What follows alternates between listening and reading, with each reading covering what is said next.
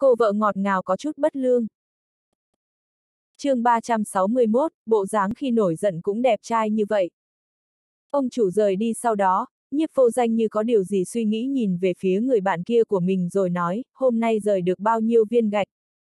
Người ngoại quốc một thân bắp thịt rắn chắc hơi hơi rung động, mặt đầy kiêu ngạo đáp, không nhiều không nhiều, chỉ có 5.000 cục gạch mà thôi. Nghe vậy, nhiếp vô danh nhất thời hứng thú hỏi tiếp, vậy hôm nay kiếm không ít tiền đi. Đương nhiên rồi, đội trưởng. Người ngoại quốc cười hắc hắc, vỗ chính mình một cái. Ngay sau đó, nhiếp vô danh trong lòng liền vui mừng không ít lên tiếng, ông chủ, cho tôi thêm 10 chén sủi cảo, một mâm thịt kho, một mâm cá kho, còn có xương sườn kho. Diệp Oản Oản, cô còn cho là mình đã là một thùng cơm lớn rồi, ai ngờ cái tên này là một cái thùng sủi cảo cực kỳ lớn luôn. Trong quá trình chờ đợi đồ ăn được mang lên, lại có thêm hai người nữa đi vào. Đội trưởng, chúng ta đã trở lại rồi nhé tương đương. Cầm đầu là một người đàn ông mặc dù mặc nam trang, nhưng gương mặt so với nữ nhân còn muốn yêu mị hơn, nếu không nhìn cẩn thận thì người ngoài nhìn qua sẽ thấy thật giống như một người con gái có tướng mạo xinh đẹp động lòng người. Audio điện tử võ tấn bền. Một người đàn ông khác một đầu tóc dài đen nhánh, sau lưng cõng lấy một cái cáng cứu thương, cả người giống như băng xuyên vạn năm, trong mắt không có chút tình cảm nhân loại nào. Còn không đợi nhiếp vô danh mở miệng, băng sơn Mỹ Nam đã không coi ai ra gì đem cáng cứu thương thả trên mặt đất, chợt cả người lười biếng nằm ở trên cáng cứu thương. Đứng lên. Thấy vậy, nhiếp vô danh nhéo mi tâm một cái tựa hồ có hơi nhức đầu. Nhưng mà, băng sơn Mỹ Nam lại không hề có ý muốn nhúc nhích tí nào, dường như nằm ở đó rất là thoải mái. Cậu sao lại lười như thế chứ? Lười như vậy sao không chết luôn đi? Giọng nói của nhiếp vô danh như sắt không luyện thành thép được bất lực lên tiếng nói. Đứng lên cho tôi, ngay sau đó nhiếp vô danh lạnh giọng quát lên. Thấy nhiếp vô danh có hỏa khí, băng sơn Mỹ Nam mới cực kỳ không tình nguyện chậm rãi đứng dậy, từ tư thế ngủ biến thành tư thế ngồi. Lão tử muốn cậu đứng lên, không phải là CMN để cho cậu ngồi như thế. Nhiếp vô danh quát lên. Nghe vậy, băng sơn Mỹ Nam yên lặng rất lâu, cuối cùng vẫn nghe lời nhiếp vô danh nói, đem cáng cứu thương thu hồi lại lần nữa đứng lên. Ai nha nha, đội trưởng thật là đẹp trai, ngay cả bộ dáng phát hỏa đều đẹp trai như vậy, mấy ngày không thấy, đội trưởng, người ta rất muốn đội trưởng nhé, người có muốn người ta hay không a à, tương đương, băng sơn Mỹ Nam bên cạnh yêu mị chui đầu vào trong ngực của nhiếp vô danh. Cút, nhiếp vô danh mặt đầy vẻ không nhịn được nữa la lên. Đội trưởng anh thật là đáng ghét mà, sau đó người đàn ông kia liền ngoan ngoãn ngồi thẳng người, xoay người nhìn về phía người đàn ông tóc dài đang ngồi bên cạnh, nháy nháy mắt mở miệng nói, lão công tương đương anh sẽ không ăn dấm đi chứ. Nhưng Mỹ Nam tóc dài kia chẳng qua chỉ liếc mắt một cái, cũng không thèm phản ứng đến hắn nữa. Thấy Mỹ Nam kia không nói lời nào, người đàn ông yêu Mỹ kia vẻ mặt như bị tổn thương nghiêm trọng nói, lão công, anh nói một câu đi nha, cả ngày lạnh băng, tổn thương lòng của người ta mà tương đương. Lão công, anh nói một câu nào đi mà tương đương người ta muốn nghe âm thanh loại mà lão công anh nói ra làm cho hormone của người ta tăng cao á. Nhìn lấy một màn kịch này, cách đó không xa Diệp Oản Oản đang ngồi trong góc, thịt kho trong miệng đều cả kinh rớt xuống. Cái CMN này là cái gì vậy, cái quan hệ phức tạp này là sao? Cái yêu mỹ nam nhân này cùng nhiếp vô danh cấu kết làm bậy, sao lại còn kêu thêm một người đàn ông khác là lão công? Cô thật không thể hiểu được mà. Lão công, anh nói một chữ đi, có được hay không vậy?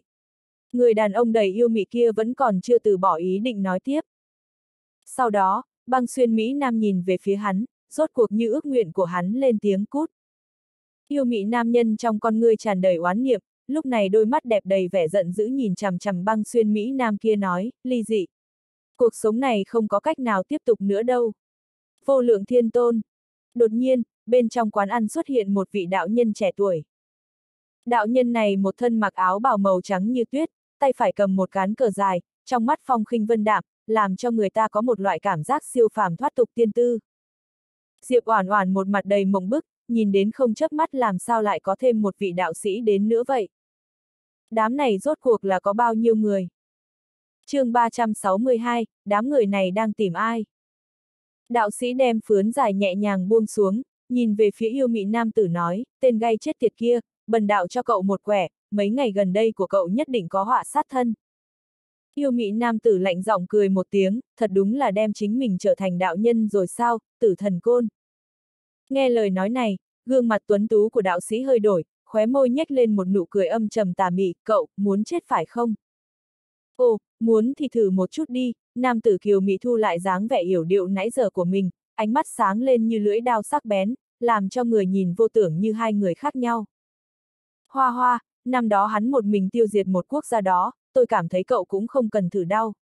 Người ngoại quốc làm nghề dọn gạch kia hảo tâm nhắc nhở.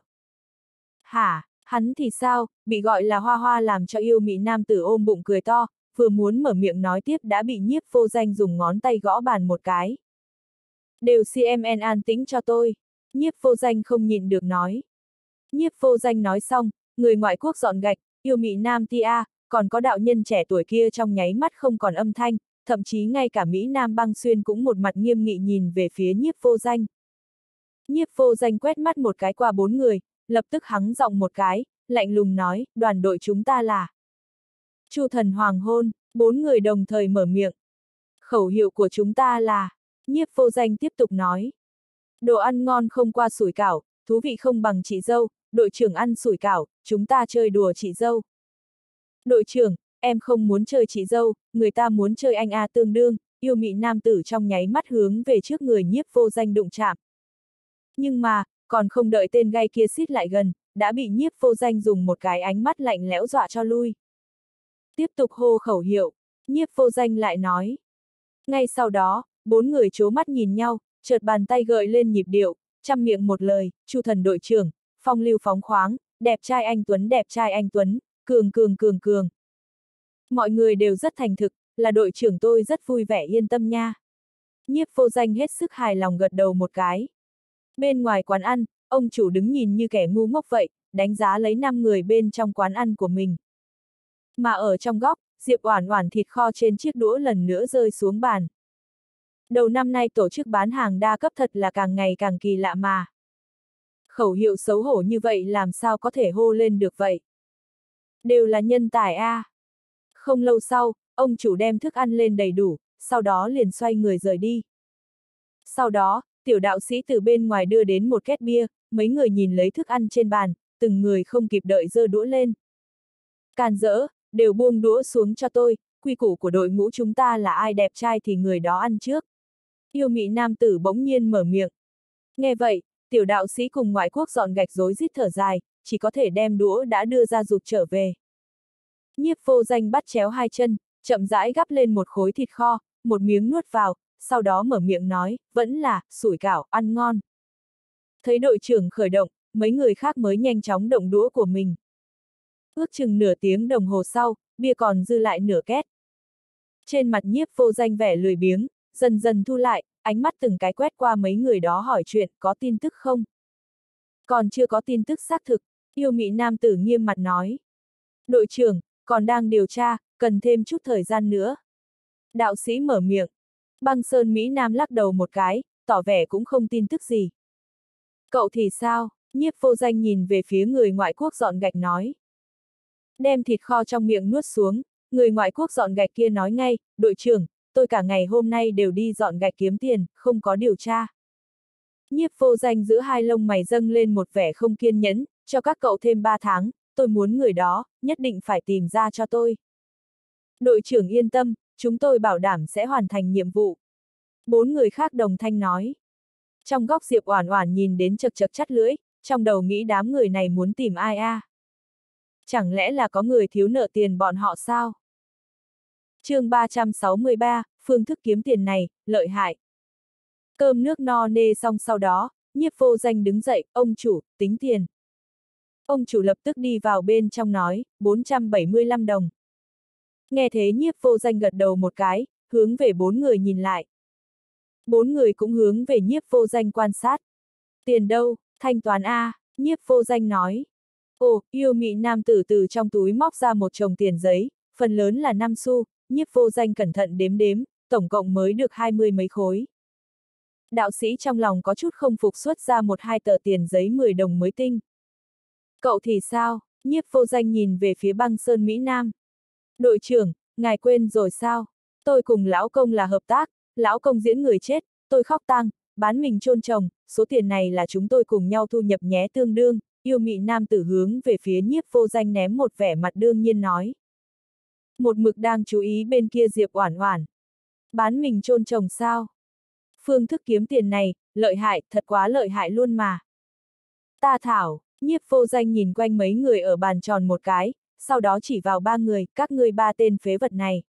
Hôm nay tổng cộng kiếm không tới 50 đồng sao. Gần đây làm ăn không khá lắm, hôm nay chỉ có một người tìm tôi coi quẻ, còn nói không chính xác, không cho tôi tiền, 20 đồng này là do tôi đi bộ nhặt được, đạo sĩ tướng mạo vô cùng tuấn Mỹ tà mị thở dài một tiếng. Không nên tìm lý do, nhiếp vô danh vẫy tay cắt đứt, chỉ vào người ngoại quốc dọn gạch nói, nhìn một chút ái tân giác là tiểu điểm điểm đi, một ngày rời được 5.000 cục gạch, kiếm được nhiều tiền như vậy, các ngươi xem lại mình một chút đi, diễn tử thi, bán mình chôn chồng sao, làm thần côn, kiếm lời CMN không tới 50 đồng, các ngươi có thấy mình mất mặt hay không, có hổ thẹn hay không, có xấu hổ hay không? Phốc, ái tân giác là tiểu điểm điểm mỗi lần nghe được cái tên này, liền cả người đều nổi da gà, đạo sĩ tướng Mạo Tuấn Mỹ tà mị, len lén hướng về người ngoại quốc dọn gạch nhìn lại.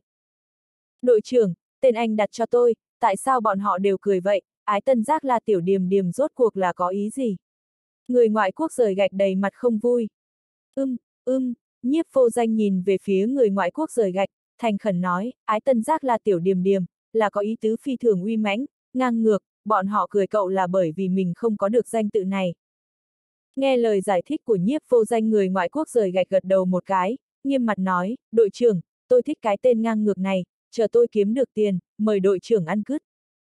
Nhiếp vô danh, cái này thì không cần. Ái tân giác la, tiểu điềm điềm. Diệp Oản Oản một mặt như ăn phải thứ gì quá đắng, đây là cái tên quỷ gì a? À? Các ngươi rốt cuộc xong chưa? Ông chủ đứng ở một bên, sắc mặt có chút khó coi.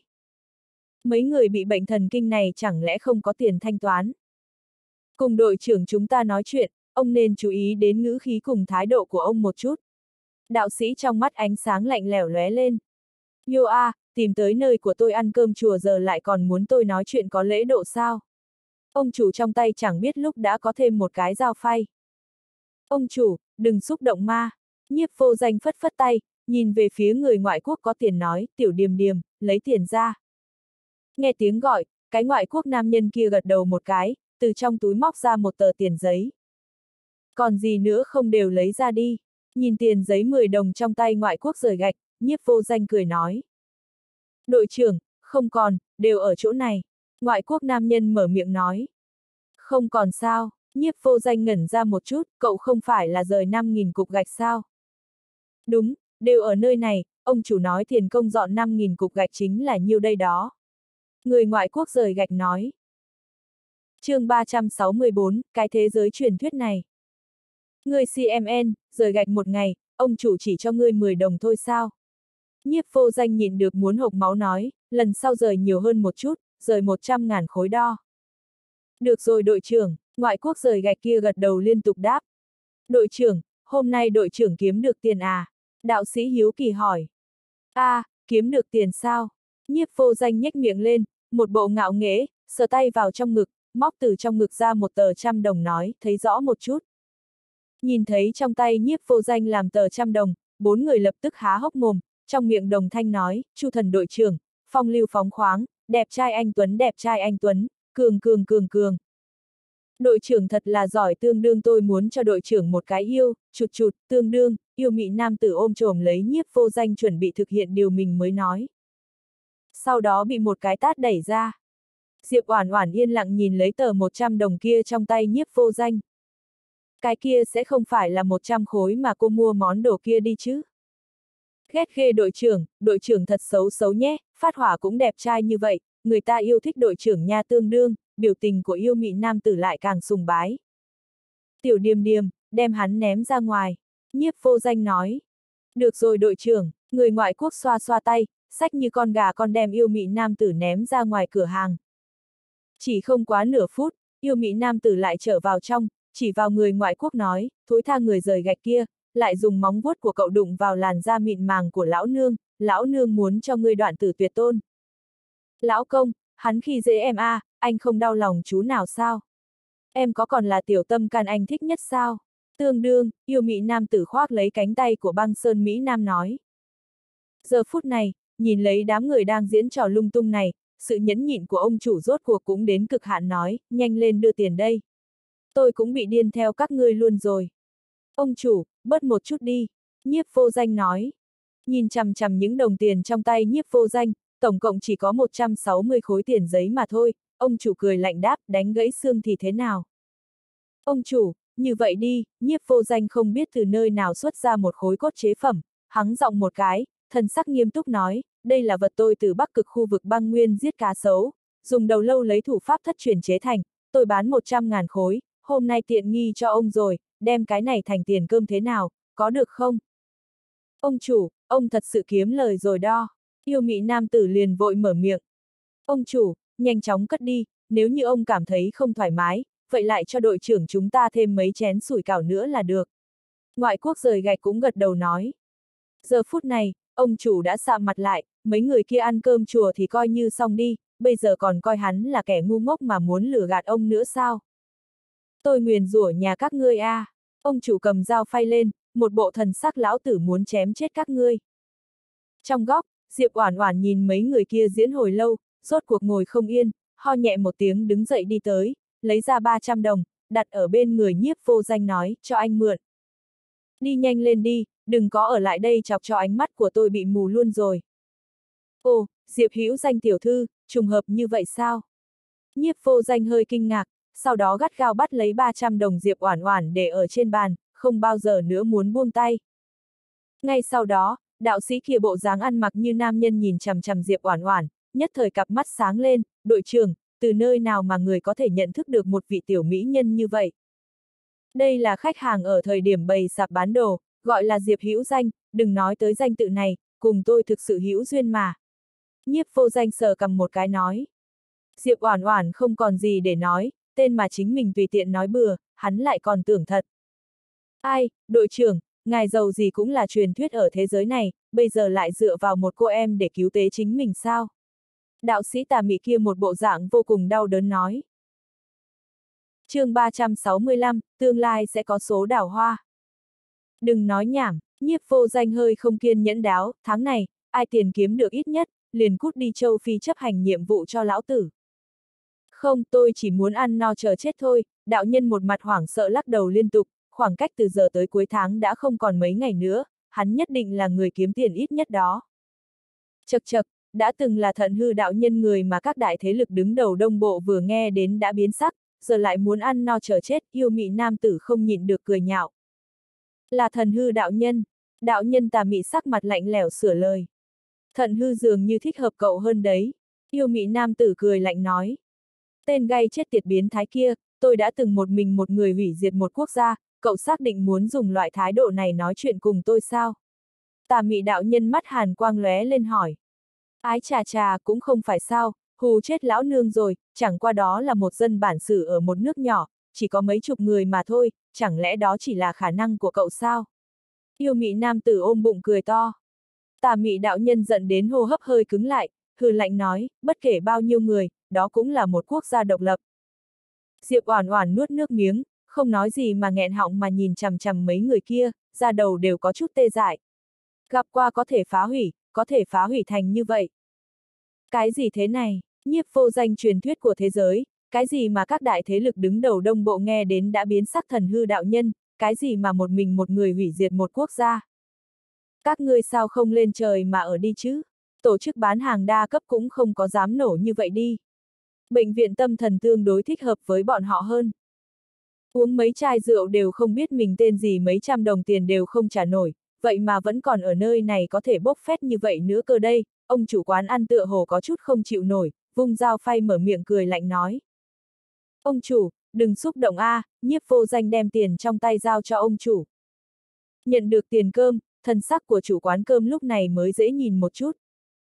Chờ một tí, tôi đưa cho ông nhiều hơn 10 đồng rồi, nhiếp vô danh vội vàng chạy lên trước, từ trong tay ông chủ đoạt lại một tờ 10 đồng. Thật rơi ạ, à, lão tử mở tiệm cơm nhiều năm như vậy, muôn hình muôn vẻ, hạng người gì mà chưa từng thấy chứ, các ngươi như vậy, lão tử phục. Ông chủ đối với mấy người nhiếp vô danh giơ ngón tay cái lên.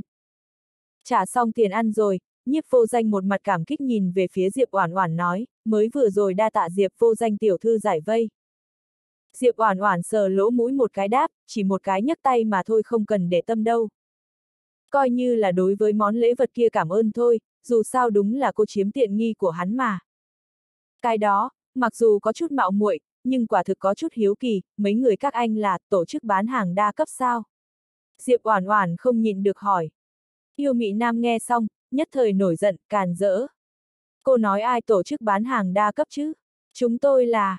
Lúc này, đạo sĩ bên cạnh đặt mông đẩy ra hắn, đi tới trước mặt của Diệp Oản Oản, không phải vậy, chúng tôi là đoàn đội chính quy, tiểu thư có hứng thú gia nhập sao? Đội ngũ của chúng tôi còn chưa có một cô gái nào đâu. Nhất là người giống như tiểu thư, cốt cách vô cùng đặc biệt, dị bẩm thiên phú. Diệp Oản Oản, ha ha, không cần cảm ơn, tôi cái gì cũng sẽ không làm được đâu. Cô chỉ là một người tay trói gà không chặt mà thôi, giữ còn không được vậy mà đòi tham gia đoàn đội chính quy sao được. Đạo sĩ vẫn còn đang thuyết phục, mỹ nữ, cô cái gì cũng không cần làm, có thể làm đoàn sủng, cho cô đãi ngộ tốt nhất. Để tỏ lòng thành ý của tôi, tôi có thể miễn phí coi cho cô một quẻ. Tôi nhìn mặt lộ vẻ mây đỏ của cô, mắt hiện lên sáng mờ, là điểm tốt cực lớn, tương lai rất có thể sẽ có số đảo hoa A. Diệp Oản Oản, em gái ngươi, quả nhiên là một tên thần côn lường gạt, cái gì điểm tốt cực lớn, số đào hoa đối với cô mà nói rõ ràng là đại kiếp mới đúng có biết hay không hả? Diệp Oản Oản quả quyết không muốn quay đầu lại rời đi. Chương 366, cởi áo ra. Quang Diệu truyền thông. Lạc Thần mới vừa bước vào công ty liền hấp dẫn sự chú ý của mọi người. Mấy người thực tập sinh ngày trước nhìn cũng không muốn nhìn Lạc Thần vừa thấy được hắn, rối rít chủ động tiến lên chào hỏi. Anh thần chào buổi sáng. Tiền bối Lạc Thần chào buổi sáng. Tiền bối chúc mừng a, à.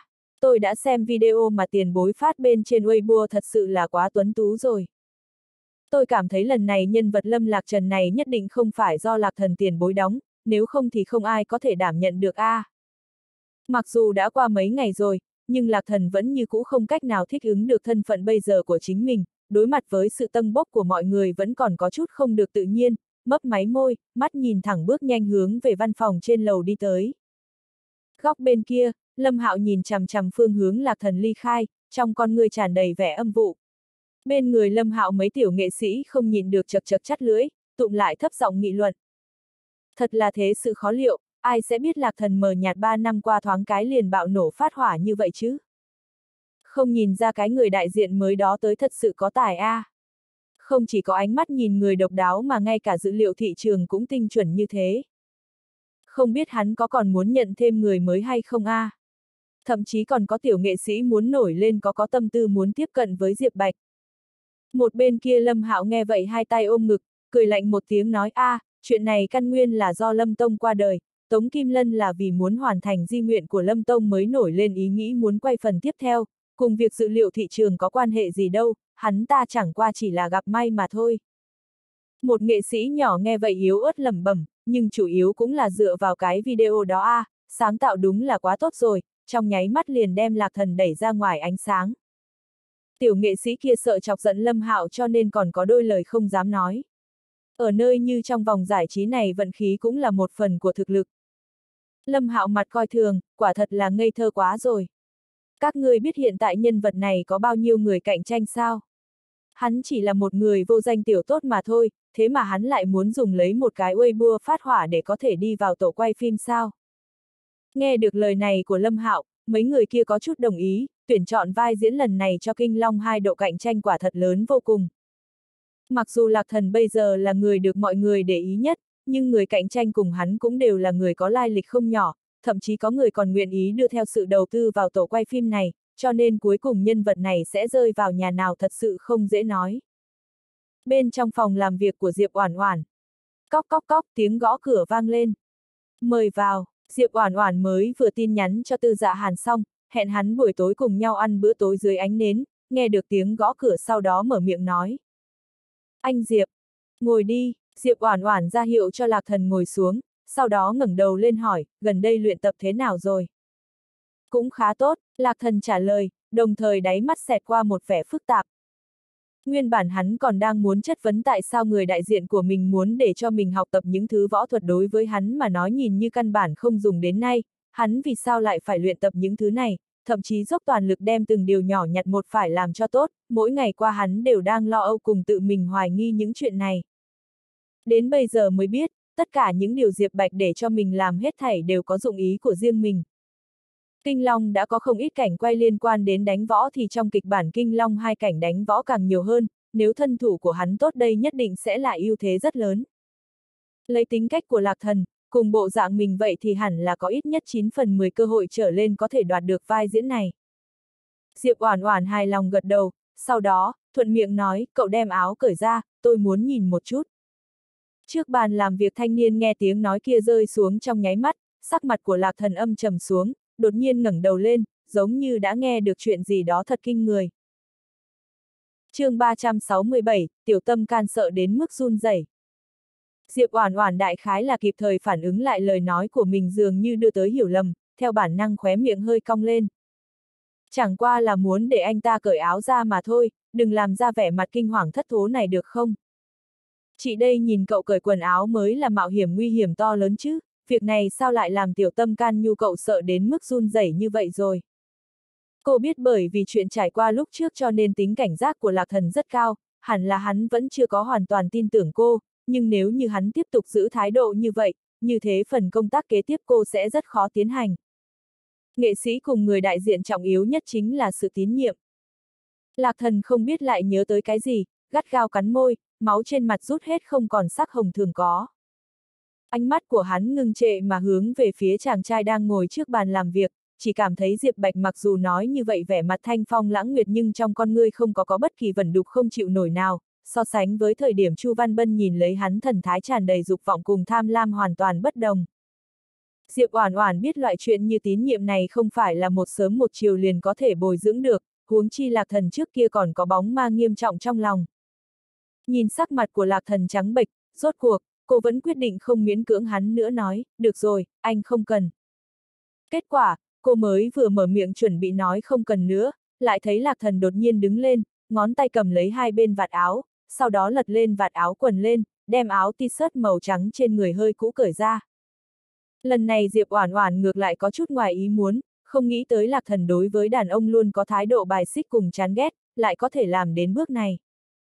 Hoàng hốt chỉ chốc lát sau đó, Diệp Oản Oản bắt đầu quan sát vóc người của Lạc Thần. Bình thường thời điểm Lạc Thần mặc quần áo còn xem không rõ, hiện tại sau khi cởi quần áo ra, Diệp Oản Oản liền nhìn thấy, Lạc Thần đã gầy đến sắp thành khúc củi, cơ hồ có thể nhìn thấy được cả xương sườn, da thịt cũng là do thường xuyên không thấy ánh mặt trời mà trắng bệch. Đây là kết quả sau hơn nửa tháng cô để cho hắn đi theo thầy võ huấn luyện. So với trong tưởng tượng của cô còn bết bát hơn. Diệp Oản Oản nhức đầu không thôi mà nhéo mi tâm một cái, mặc dù cô nói là chỉ cần mập lên thêm 10 cân mập quá sẽ không đẹp, nhưng cô cũng không phải nói càng gầy càng tốt, Lạc Thần bây giờ là hoàn toàn gầy quá mức mà. Nếu chụp ảnh yêu cầu lộ thịt một chút trước ống kính, vóc người này của hắn căn bản không cách nào nhìn a. À. Cô trước đã cố ý lật xem qua kịch bản, không giống với trong kinh long một lạc thần chính là một thiếu niên thiên chân vô tà lại đơn thuần, thậm chí hắn có thể yếu đuối ôn nhu một chút cũng không sao, nhưng trong kinh long hai tuổi tác cùng tính tình của lạc thần đều đã có biến hóa rất lớn, không thể tiếp tục là hình thái của thiếu niên, mà trong đó còn có thêm mấy cảnh quay yêu cầu vóc người được lộ ra nữa. Không thể đến lúc đó lại đi tìm người đóng thế được. Lấy yêu cầu hà khắc đối với chất lượng của đạo diễn Tống Kim Lân tuyệt đối sẽ không cho phép. Diệp Oản Oản ở trên sổ tay ghi chép lại vài nét bút, ngay sau đó sắc mặt đông lạnh nói, không được, anh quá gầy, trước tiên phải tăng cân, sau đó tăng cơ, tôi sẽ cho anh một kế hoạch cụ thể cứ dựa theo phía trên à làm. Mặt khác, các khóa huấn luyện trình độ khác của anh, còn có bác sĩ dinh dưỡng đều đã giúp anh sắp xếp xong xuôi rồi. Nhà trọ cũng đã xin được, để tiện cho việc quản lý, anh cùng tôi ở cùng một dãy nhà trọ, đây là chìa khóa, tối nay anh liền có thể rời qua. Mới đây tôi đem video lần trước anh quay hoàn chỉnh gửi cho đoàn làm phim Kinh Long 2, mới vừa rồi tôi đã nhận được email thông báo của đoàn làm phim, anh đã qua thi vòng loại, trở về chuẩn bị thật tốt một chút đi, tháng sau liền đến thời điểm thử vai rồi. Tôi ở lầu trên, có chuyện anh tùy thời có thể đến tìm tôi. Lạc thần lăng lặng nghe đối phương nói một hơi tất cả những điều sắp xếp cho tương lai của hắn, nhìn đối phương đưa tới chìa khóa có khắc mấy chữ, vạn cảnh danh huyền, hoảng hốt hồi lâu mới nhận lấy, siết chặt trong bàn tay, yên lặng gật gật đầu đáp, ừm. chương 368, boss nhà cậu dáng dấp quá trêu người. Thời gian làm việc của người đại diện là tự do, cũng không cần mỗi ngày đều ở tại công ty, Diệp Oản Oản đem khóa trình huấn luyện cùng với huấn luyện viên thể hình cùng bác sĩ dinh dưỡng an bài xong cho Lạc Thần, lại ở trên mạng đăng tin thông báo tuyển dụng đội nhân viên cho Lạc Thần, ngay sau đó liền đón xe đi đến tập đoàn Tư thị. Thư ký trực tiếp mang cô hướng phòng làm việc tổng giám đốc đi tới. Nhận ra được vị này cùng tổng giám đốc nhà mình có quan hệ thần bí, nhìn vị tiên sinh này hôm nay dường như có tâm sự, thư ký thử mở miệng thăm dò, Diệp tiên sinh, ngài hôm nay nhìn qua thật giống như có chút phiền lòng. Diệp Oản Oản nhéo mi tâm một cái cũng không phủ nhận đáp, đúng a. À? Phiền lòng. Thư ký nháy mắt một cái hỏi tiếp, thế nào xảy ra chuyện gì sao? Chẳng lẽ là tổng giám đốc hắn, lại cáo kỉnh. Thư ký chỉ nghe được thanh niên dung nhan tuyệt đẹp bên cạnh mình ai oán thở dài đáp, boss nhà cậu dáng dấp quá trêu người rồi. Thư ký, hắc. Vì sao giọng điệu này, lại cho hắn cảm giác bởi vì bạn gái mình có dáng dấp xinh đẹp mà phiền não vậy chứ? Bên trong phòng làm việc của Tổng Giám Đốc, thời điểm Diệp Oản Oản đi vào, Tư Dạ Hàn còn có một chút việc chưa có xử lý xong, đang ở trước máy vi tính không biết cùng người nào gọi cuộc gọi video. Diệp Oản Oản tự giác đi tới trên ghế salon ngồi xuống, một bên ngồi chờ, một bên nâng cầm lên nhìn chằm chằm Tư Dạ Hàn đang ngồi trước bàn làm việc đeo tai nghe Bluetooth, lưu loát nói chuyện đến ngẩn cả người. Phía sau anh là một mảnh cửa sổ nhỏ nhắn, chân trời lửa đốt sáng mờ, cùng với vẻ thanh lãnh cực kỳ của gương mặt tạo thành sự đối lập rõ ràng, trở nên một hình ảnh đẹp đến mức tận cùng. Chỉ cần gương mặt thôi, cũng không cần nhắc tới đỉnh lông mày đẹp đẽ con người đen mà sâu thẳm, đôi môi nhỏ bé thật sự là hoàn mỹ không một tì vết nào, thật không có lời nào có thể hình dung về dung mạo tuyệt thế này được. Rõ ràng chẳng qua là tùy tùy tiện tiện mà ngồi ở chỗ đó mà thôi, trên mặt cũng bao trùm lạnh lẽo như băng tuyết không có một tí nhiễm khói lửa nhân gian, chỉ liếc mắt một cái lại để cho người nhìn có loại cảm giác dù đã nhiều lần trải qua phồn hoa nhân gian cũng không bằng bữa tiệc sắc đẹp trước mắt này. Diệp Oản Oản chật vật mà thu hồi tầm mắt lại, gần như đem gò má chôn vào trong lòng bàn tay. Làm bậy a, à, chói mắt, cái này cũng quá chói mắt đi. Chói mắt như vậy làm sao để cho cô mang trở về được đây? Nếu mang về để cho ba mẹ cô thấy được, vẫn không thể họ sẽ bận tâm đến mức nào nữa đây. Thật là tự mình làm bậy thì không thể sống được. Cuối cùng, Diệp Oản Oản vẫn là không có lựa chọn phòng ăn cao cấp để ăn bữa tối dưới ánh nến, mà là đến một quán rượu. Rõ ràng đó là nơi không hề hợp với khí chất của Tư Dạ Hàn nhưng ở trong hoàn cảnh huyên náo như vậy, Tư Dạ Hàn tồn tại giống như là một nơi đào nguyên yên tĩnh, thấm vào ruột gan. Diệp Oản Oản đang ôm lấy đầu, nhìn chằm chằm mỹ nam nhân ngồi đối diện dầu dĩ không dứt mà than thở, sau đó chỉ thấy Tư Dạ Hàn không nhanh không chậm để ly rượu trong tay xuống, ngẩng đầu lên, thân thể áp vào phía sau chỗ dựa trên ghế salon, ánh mắt muốn lấy tâm của người khác chợt rơi vào trên mặt của cô, đôi môi nhỏ bé khẽ mở, nhìn đủ rồi chứ. Khụ khụ khụ, Diệp Oản Oản đầu tiên là sững sờ, ngay sau đó đột nhiên lại có một trận cuồng ho khan, lúc này mới phát hiện ánh mắt của mình không chút kiêng kỵ nào nhìn Tư Dạ Hàn, lúng túng mở miệng nói, gì chứ, anh đẹp mà. Diệp Oản Oản rốt cuộc ổn định lại tinh thần, chuẩn bị nói chính sự, bảo bảo a, à, tối ngày hôm qua lời em nói ở trên tiệc mừng thọ của ông nội anh đều nghe được rồi đúng không? Chuyện em giải trừ hôn ước với cố Việt Trạch đó. Tư Dạ Hàn, ừm. Nhìn biểu tình của Tư Dạ Hàn, chắc là tâm tình không tệ. Ánh mắt của Diệp Oản Oản nhất thời sáng một cái, thử thăm dò mở miệng, vậy, biểu hiện của em tốt như vậy lại biết điều như vậy, em có thể nói một yêu cầu nho nhỏ hay không? Tư dạ hàn nhấp miếng rượu, liếc cô một cái, nói một chút. chương 369, anh nhìn rất không được sao. Diệp Oản Oản trần trừ một phen, rốt cục mở miệng, ưm, chuyện là như vậy, trước kia vì cố Việt trạch đồ cặn bã nam đó mà quan hệ giữa em cùng ba mẹ em một mực luôn căng thẳng không hòa hợp, lần này quay lại Diệp ra, em đã cùng ba mẹ em nói rõ vì để cho bọn họ yên tâm, tin tưởng em thực sự đã nghĩ thông suốt cho nên chuyện giữa hai chúng ta em cũng nói với bọn họ rồi. Nói tới chỗ này, Diệp Oản Oản dừng một chút, vừa quan sát thần sắc của Tư Dạ Hàn, vừa tiếp tục mở miệng, cộng thêm hai chúng ta lui tới đến bây giờ cũng hơn hai năm rồi, cho nên, anh có muốn hay không cùng em trở về, gặp ba mẹ em một chút. Điều cô lo lắng nhất chính là một ngày nào đó chuyện của mình và Tư Dạ Hàn ngoài ý muốn bị ba mẹ cô phát hiện, lấy thái độ của Tư Dạ Hàn đối với ba mẹ cô, cộng thêm chuyện vạn nhất ba mẹ biết rõ mình ban đầu là bị cưỡng bách, hậu quả này cô quả thật là không dám tưởng tượng. Cho nên cô nhất định phải nghĩ mức độ đến xấu nhất mà chuyện này có thể phát triển được sau đó nghĩ đến phương pháp lưỡng toàn giải quyết chuyện này. Nếu như tư dạ hàn đồng ý hơn nữa còn nguyện ý phối hợp vậy thì không thể tốt hơn nữa. Diệp Oản Oản nói xong trong nháy mắt, không khỏi có cảm giác âm thanh huyên náo chung quanh tất cả đều không còn nữa, toàn bộ sự chú ý đều của cô hiện giờ chỉ có phản ứng của người đàn ông đối diện mà thôi. Tư dạ hàn bưng ly rượu ngón tay dừng lại một chút, bởi vì ánh sáng nơi quầy rượu không đủ nên cô nhìn mặt của anh cũng không quá rõ ràng. Thời gian một giây đồng hồ một giây đồng hồ một trôi qua. Không thể được sao, Diệp Oản Oản thấy vậy, con người tịch mịch hơi buồn rầu, trên mặt một mảnh buồn bã, tư dạ hàn, em đối với anh mà nói, có phải chỉ là một món đồ chơi mà thôi hay không? Anh không vui liền giam giữ em, nếu anh vui vẻ thì để cho em đi ra ngoài bay mấy vòng. Em biết anh có khả năng không quá vui vẻ nếu em cùng người khác lui tới thân thiết, thậm chí là ba mẹ của em, nhưng là thái độ của anh như vậy sẽ làm ba mẹ em tưởng tượng theo chiều hướng không tốt có thể sẽ cho là em bị người xấu bắt đi, hoặc xấu hơn nữa có thể nghĩ đến chuyện em bị giam cầm bao nuôi. Tư dạ hàn trầm sắc mặt, chỉ thấy cô càng nói càng ủy khuất, tựa hồ cũng muốn khóc, sau đó nghe cô tiếp tục nói, bọn họ là ba mẹ của em, cũng là bố mẹ vợ tương lai của anh, chẳng lẽ anh chỉ muốn cùng em vui đùa một chút, cũng chưa từng nghĩ đến chuyện cùng em kết hôn sao? Nghe được hai chữ kết hôn, vẻ mặt lạnh giá của tư dạ hàn dường như có chút chấn động nhỏ không thể nhận ra trong nháy mắt, ngay sau đó, rốt cuộc mở miệng nói, có thể. Tư dạ hàn tiếng nói hạ xuống trong nháy mắt, gương mặt nhỏ nhắn của Diệp Oản Oản như hoa hướng dương nhìn thấy mặt trời bắt đầu vui vẻ hơn tiến tới hỏi, a, à, thực sự có thật hay không vậy? Vậy anh đến lúc đó có thể biến thành một gương mặt khác, để cho mình xấu xí một chút, a à, không phải ý em không phải thế đâu, ý em là thoạt nhìn hiền lương thục đức, a à, không, ý của em là thoạt nhìn an toàn một chút có được hay không? Tư dạ hàn. Sắc mặt tư dạ hàn mới vừa hòa hoãn mấy phần nhất thời giống như gió bắc gào thét, âm thanh cũng lạnh đến đóng băng, từng chữ từng chữ mà mở miệng, anh nhìn rất không được sao. Diệp Oản Oản vội vàng đem đầu lắc như đánh chống đáp, làm sao như vậy được.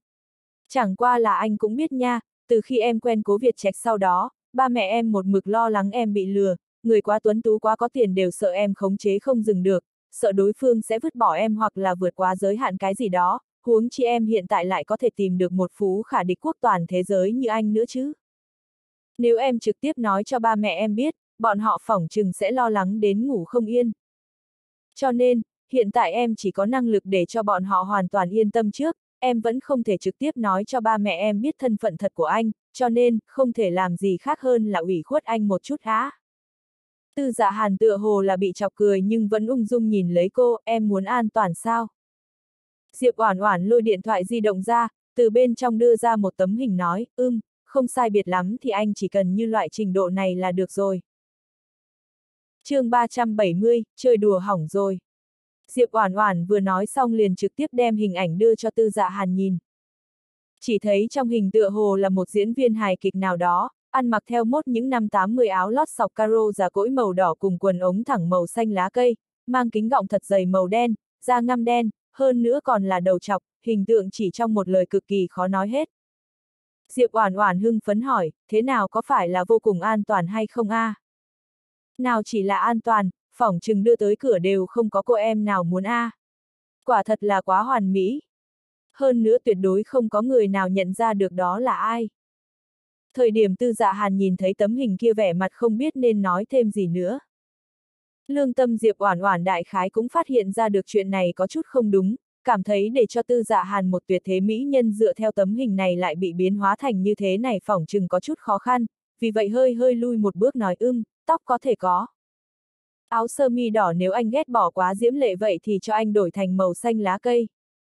Mắt kính cũng không cần đeo, không được không được, ánh mắt anh quá dụ người, mắt kính không thể không đeo nha. Thấy sắc mặt của tư dạ hàn dường như càng ngày càng khó coi, Diệp Oản Oản nuốt nước miếng, suy nghĩ một chút rồi mở miệng nói, bảo bảo a, à, em cũng không muốn, ai biểu ông trời lại cho anh một gương mặt nhìn qua thật sự là. Tư dạ hàn mặt như phủ băng, sẽ vượt quá giới hạn. Diệp Oản Oản vội nói, làm sao sẽ? Bảo bảo a, à, đối với tâm ý của anh, em còn có thể không biết sao? Anh xem bộ dáng xấu nhất của em cũng đều không có ghét bỏ. Em chỉ là sợ ba mẹ em không yên lòng mà thôi. Cuối cùng, dù Diệp Oản Oản dùng miệng lưỡi của mình nói đến cạn lời nhưng đàm phán vẫn không thành công. Vạn cảnh danh uyển. Sau đó trở lại nhà trọ, Diệp Oản Oản vẫn còn chưa từ bỏ ý định khuyên Tư Dạ Hàn. Ai, thân ái, anh nghĩ như vậy nha, nếu anh là người rất xấu, bên người anh lại có một đại mỹ nữ đi theo, vậy người khác khẳng định đều sẽ cảm giác cho là anh là người giàu có. Cảm giác này hoàn toàn thoải mái a. À. Ách, thật giống như không đúng chỗ nào đó, anh vốn chính là người giàu có nha. Diệp Oản Oản quả thật là tuyệt vọng. Đem Diệp Oản Oản đưa tới cửa, Tư Dạ Hàn dứt khoát ngay cả cửa cũng không muốn tiến vào, trực tiếp xoay người liền muốn đi. Diệp Oản Oản nhất thời nóng nảy, chợt tiến đến trước mặt Tư Dạ Hàn, dùng sức đưa anh đẩy vào trong phòng nói, anh làm sao lại không muốn nói lý lẽ như vậy. Em vì anh đã giả xấu nhiều lần như vậy rồi, anh vì em một lần chẳng lẽ cũng không được sao? Tư dạ hàn bị đẩy ở bên ngồi lên ghế salon, hai con người híp lại, dường như đang muốn thay đổi động tác, nhưng một giây kế tiếp, không biết nhìn thấy sau lưng Diệp Oản Oản cái gì, lại đột nhiên bất động, mặc cho Diệp Oản Oản dùng một bộ dạng thiếu nữ ác bá cưỡng bách người đàng hoàng đưa anh đè ép dưới thân. Nếu anh nói không được thì sao? Tư dạ hàn sâu kín hỏi, cặp con người nhuộm lấy băng tuyết mê hoặc người tới cực hạn. Diệp Oản Oản bị sắc đẹp này động lại trong ánh mắt một giây, sau đó càng thêm kiên định mà cảm thấy không thể để cho anh ở hình dạng nguyên thủy mà xuất hiện được, vì vậy, trực tiếp đem tư dạ hàn đẩy ở trên ghế salon, một gối đè ở bên người anh nói, hôm nay anh theo cũng phải theo, không theo cũng phải theo. Diệp Oản Oản tiếng nói hạ xuống trong nháy mắt một âm thanh, loảng xoảng, vang lên. Ngay sau đó lại là, ba, một tiếng. Sau lưng đột nhiên liên tiếp truyền tới hai tiếng động khác thường. Diệp Oản Oản trong lòng đột nhiên dâng lên một cổ dự cảm cực kỳ không tốt, sống lưng cứng ngắc xoay người lại sau đó liền thấy. Hàn Thiên Vũ đang mặc đồ ngủ đi dép lê một mặt đầy kinh sợ mà đứng ngây ngốc ở chỗ cửa trước, bên chân là lon bia rơi đầy xuống đất, càng làm cho Diệp Oản Oản tuyệt vọng hơn chính là, bên cạnh Hàn Thiên Vũ chính là thân hình đơn bạc của chàng thanh niên, đó lại là Lạc Thần. Hai tử đáng thương toàn bộ người cũng đã ngu theo kịch bản rơi đầy đất. Ta, CMN, đã xảy ra chuyện gì vậy? Audio điện tử võ tấn bền. chương 371, trừ phi cậu là con gái. Tình huống gì đây cơ chứ? Khi thấy sau cánh cửa có hai người, Diệp Oản Oản cả người giống như bị thiên lôi đánh. Gương mặt tuấn tú của Hàn Thiên Vũ đủ mọi màu sắc, khuôn mặt nhỏ nhắn của Lạc Thần cũng trắng hiếu quả thật là giống như tiểu bạch kiểm bị cuồng phong mãnh liệt thổi qua. Ba cặp mắt anh nhìn tôi, tôi nhìn anh, mắt lớn chừng mắt nhỏ. Không khí một hồi quỷ dị tĩnh mịch. Các anh, nghe tôi giải thích, cái này tuyệt đối là một hiểu lầm. Hàn Thiên Vũ nghe vậy nhìn chằm chằm chân của cô. Diệp Oản Oản cúi đầu nhìn một cái, vội vàng đem đầu gối để bên người Tư Dạ Hàn xuống. Tóm lại sự tình tuyệt đối không phải như các anh nghĩ. Hàn Thiên Vũ lại nhìn chằm chằm về phía tay cô. Tay Diệp Oản Oản lại vội vàng như khoai lang nóng phỏng tay nơi cổ áo của Tư Dạ Hàn buông ra.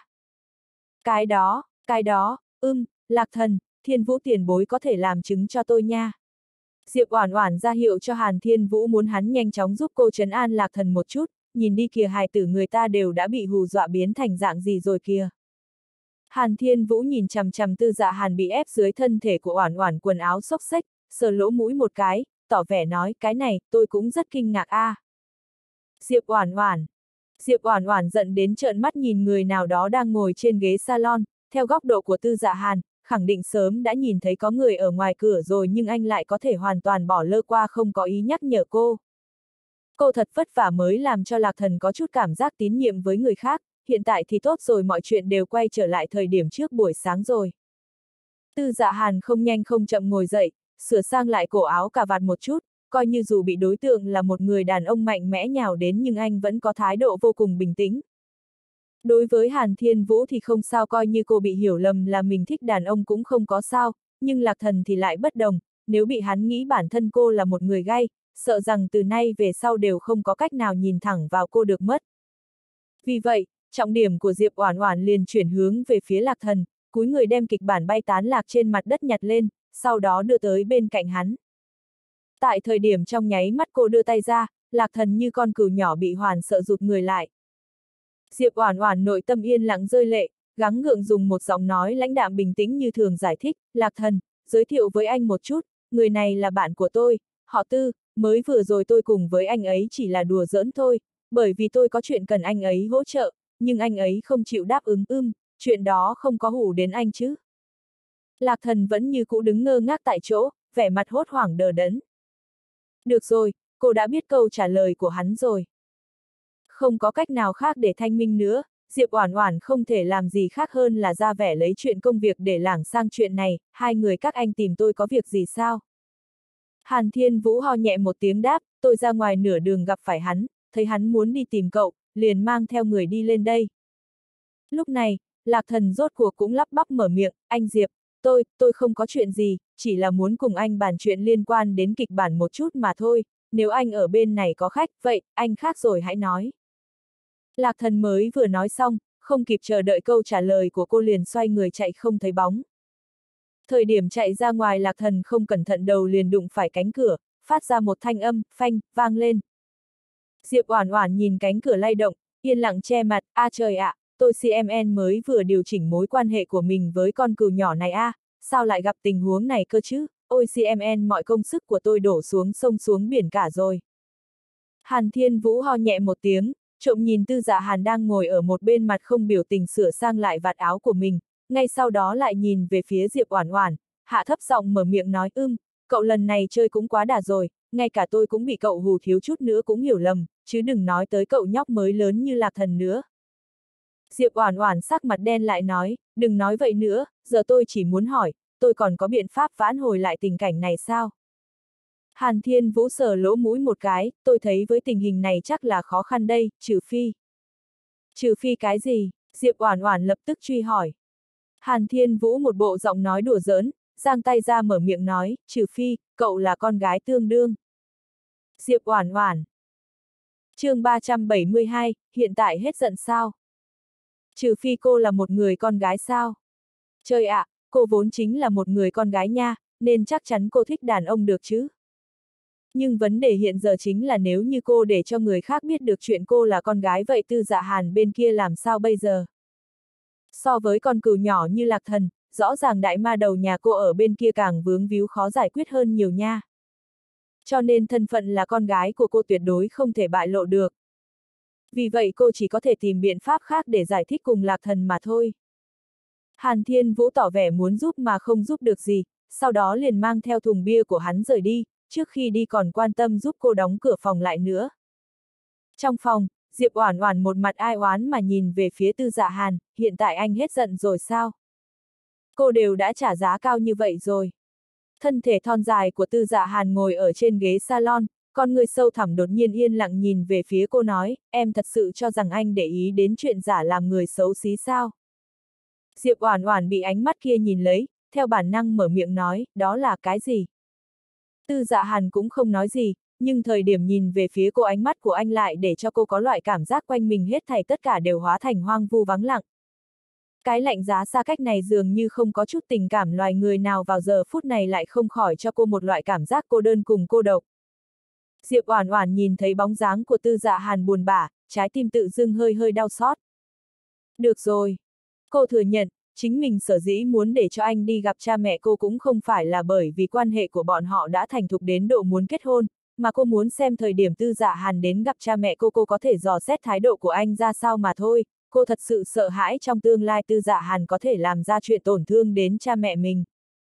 Cô biết, từ khi trọng sinh tới nay, cô chưa bao giờ có cảm giác an toàn, đối với với người trước mắt cũng chưa từng chân chính rộng mở cánh cửa lòng mình. Nhưng một phần nguyên nhân chính là quan hệ bất bình đẳng, cô và anh như hai tầng lớp khác biệt vậy thì làm sao cô có thể không giữ lại chút nào của mình mà giao phó toàn bộ bản thân mình cho anh được cơ chứ? Thậm chí thời điểm vừa mới bắt đầu trọng sinh trở về, cô thậm chí còn có qua ý nghĩ đời này cô phải chịu đựng đến lúc tư dạ hàn chết đi thì mới có thể có được sự giải thoát cùng tự do của mình. Cô nhớ đến kiếp trước trạng thái thân thể của tư dạ hàn không quá hoàn hảo, vào lúc này đã bắt đầu có đủ loại bệnh biến chứng bắt đầu bộc phát ra, một năm kia khi cô và tư dạ hàn ly dị, thân thể của tư dạ hàn đã như dầu cạn đèn đã tắt. Cô nhớ rõ, kiếp trước thời điểm tư dạ hàn ký giấy ly dị cầm bút cơ hồ cũng không cầm được. Rời khỏi tư dạ hàn, cô từng nghe được tin tức trên báo cũng như lời đồn đãi nhiều lần liên quan đến tin tức bệnh tình nguy hiểm của anh. Mặc dù nguyên nhân chính là do thân thể của tư dạ hàn nhưng không thể phủ nhận, sự tồn tại của cô làm tăng tốc tử vong của anh.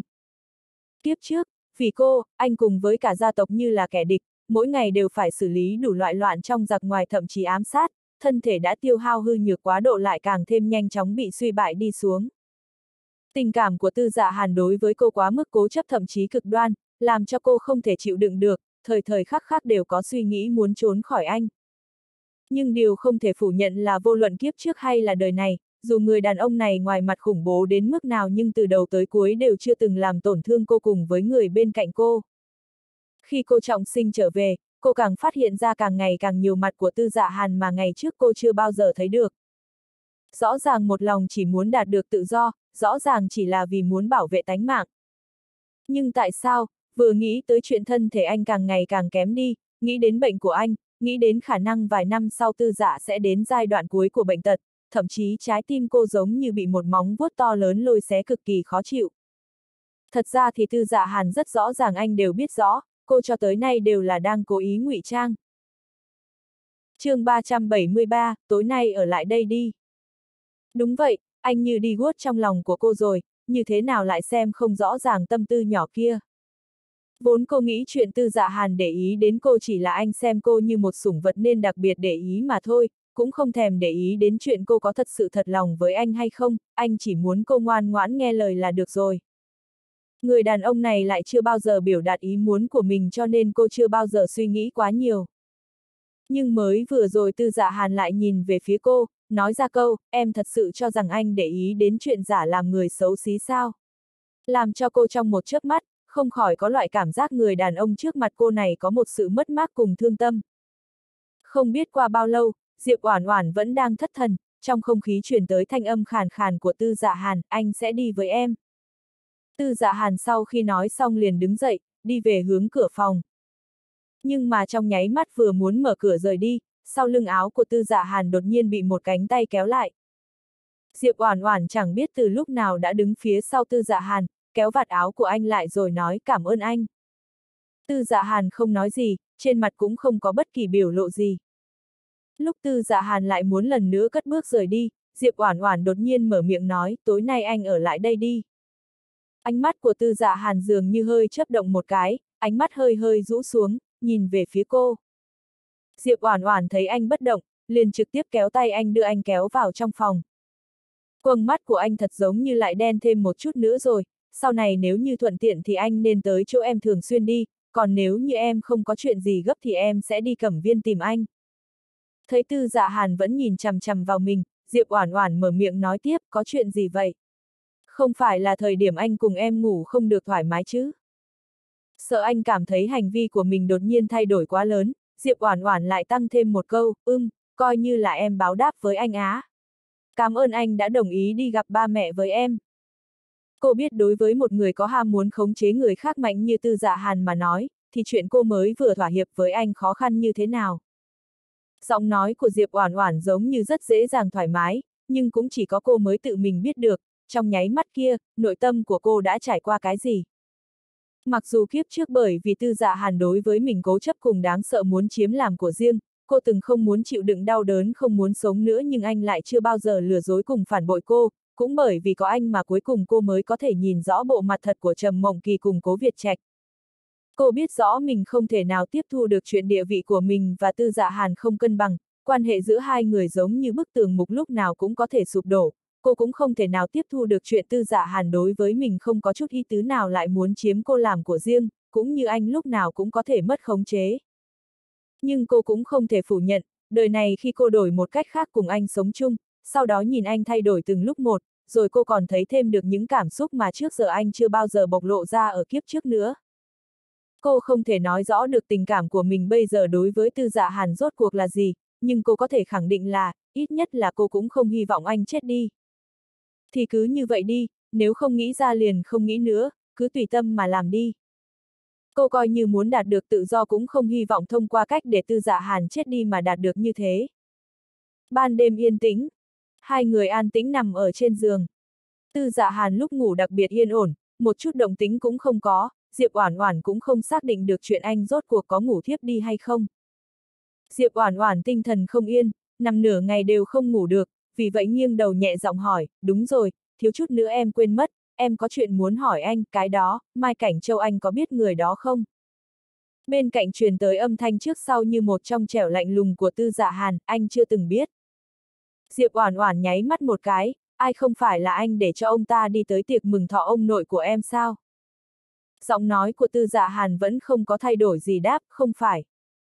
Diệp Oản Oản, nếu không phải là cô len lén đi hỏi qua hứa dịch, thiếu chút nữa đã muốn tin tưởng không phải là anh nha. chương 374, bùa đòi mạng của tư dạ hàn. Sáng ngày thứ hai, sau khi tư dạ hàn rời đi, Diệp Oản Oản gọi điện thoại cho hứa dịch. Alo, Oản Oản tiểu thư, hứa dịch có chút kỳ quái không hiểu tại sao Diệp Oản Oản mới sáng sớm đã gọi điện thoại cho mình. Ông chủ nhà anh tình trạng cơ thể trước mắt như thế nào rồi? Diệp Oản Oản trực tiếp đi thẳng vào vấn đề hỏi. Chuyện này, hứa dịch không biết vì sao Diệp Oản Oản lại đột nhiên hỏi cái vấn đề này, cô ấy muốn mưu đồ gì sao vì vậy trong lúc nhất thời có chút chần chờ. Rất không ổn sao, Diệp Oản Oản cau mày hỏi lại. Hứa dịch cân nhắc một chút rồi chọn lời nói, quả thật không quá lạc quan, cửu gia năm xưa bị thương, thân thể vốn như người có bệnh rồi, nhưng ngài ấy vẫn không có muốn chữa trị cho khỏi, cộng thêm chứng mất ngủ nghiêm trọng sau đó liên tiếp gặp tai nạn, trước kia tôn thần y có giúp cửu gia xem qua, thậm chí còn chắc chắn. Chắc chắn cái gì? Chắc chắn nếu tiếp tục đi xuống như vậy, cửu gia không thể sống qua được vài năm nữa đâu, hứa dịch cuối cùng vẫn quyết định thành thật trả lời. Những chuyện này Diệp Oản Oản ở bên cạnh cửu gia hai năm, thật ra thì cũng đều biết rồi, chỉ là cô ấy chắc chưa từng để bụng hay để ý đến những điều này đi, sợ rằng cô ấy chỉ mong cửu gia sớm không chịu đựng nổi mà ra đi. Diệp Oản Oản trong nháy mắt yên lặng, quả nhiên, cùng tình huống ở kiếp trước giống nhau. Thân thể của tư dạ hàn nếu chỉ nhìn ở bề ngoài hoàn toàn không nhìn ra vấn đề gì, ngay cả tâm tình của anh cũng đều không lộ ra ngoài, huống chi là ốm đau. Nhưng sự thực chính là thân thể đã sớm suy yếu, một thân toàn bộ đều là khuyết điểm. Năm cô cùng tư dạ hàn ly dị, thân thể của anh đã kém đến nổi ngụy trang cũng làm không được, thời điểm muốn đi đâu ra ngoài phần lớn đều chỉ có thể ngồi trên xe lăn, mà thời điểm cô có thể nhìn thấy anh cũng càng ngày càng ít. Nếu như điều trị thật tốt thì sao đây? Diệp Oản Oản lại hỏi. Hứa dịch trầm ngâm chốc lát rồi đáp, chuyện này, tôi cũng không dám khẳng định, cửu gia bình thường lượng công việc quá lớn, gia tộc, công ty, thế lực trong bóng tối, khắp nơi đều yêu cầu sự có mặt của ngài ấy, cộng thêm chứng mất ngủ nữa, vì vậy nếu muốn điều trị tốt cho hết bệnh cơ hồ là chuyện không thể nào xảy ra được. Tôi biết rồi, Diệp Oản Oản yên lặng rất lâu, sau đó cúp điện thoại. Tựa vào ghế mây trên sân thượng, Diệp Oản Oản bần thần nhìn ngoài cửa sổ, lâm vào mông lung, nhớ lại những cảnh xưa cũ trong kiếp trước kia. Rất nhiều chuyện cô một mực không muốn suy nghĩ tới, nhưng vẫn là trốn tránh không được. Nếu như cô nhớ không lầm, không lâu sau chỉ trong vòng vài ngày nữa, Tư Dạ Hàn sẽ mang theo một nhóm tinh anh của công ty trước tiên nghiên cứu thiết bị, sau đó đi đến quốc gia B đàm phán hợp tác cùng với một người bạn học quan trọng, mà ở lần này trên đường đi đến nước B, Tư Dạ Hàn gặp phải một vụ cướp giết nghiêm trọng, không chỉ nhân viên bị tổn thất nặng nề, thiết bị bị cướp mất mà Tư Dạ Hàn cũng bị trọng thương. Cô nhớ lại kiếp trước vụ cướp kia suýt chút nữa thì làm Tư Dạ Hàn mất mạng, làm cho anh nằm ở trên giường hơn mấy tháng, sau đó khi tỉnh lại, thân thể vốn đã không ổn càng ngày càng hỏng bét hơn. Lần trọng thương này không thể nghi ngờ là bùa đòi mạng Tư Dạ Hàn.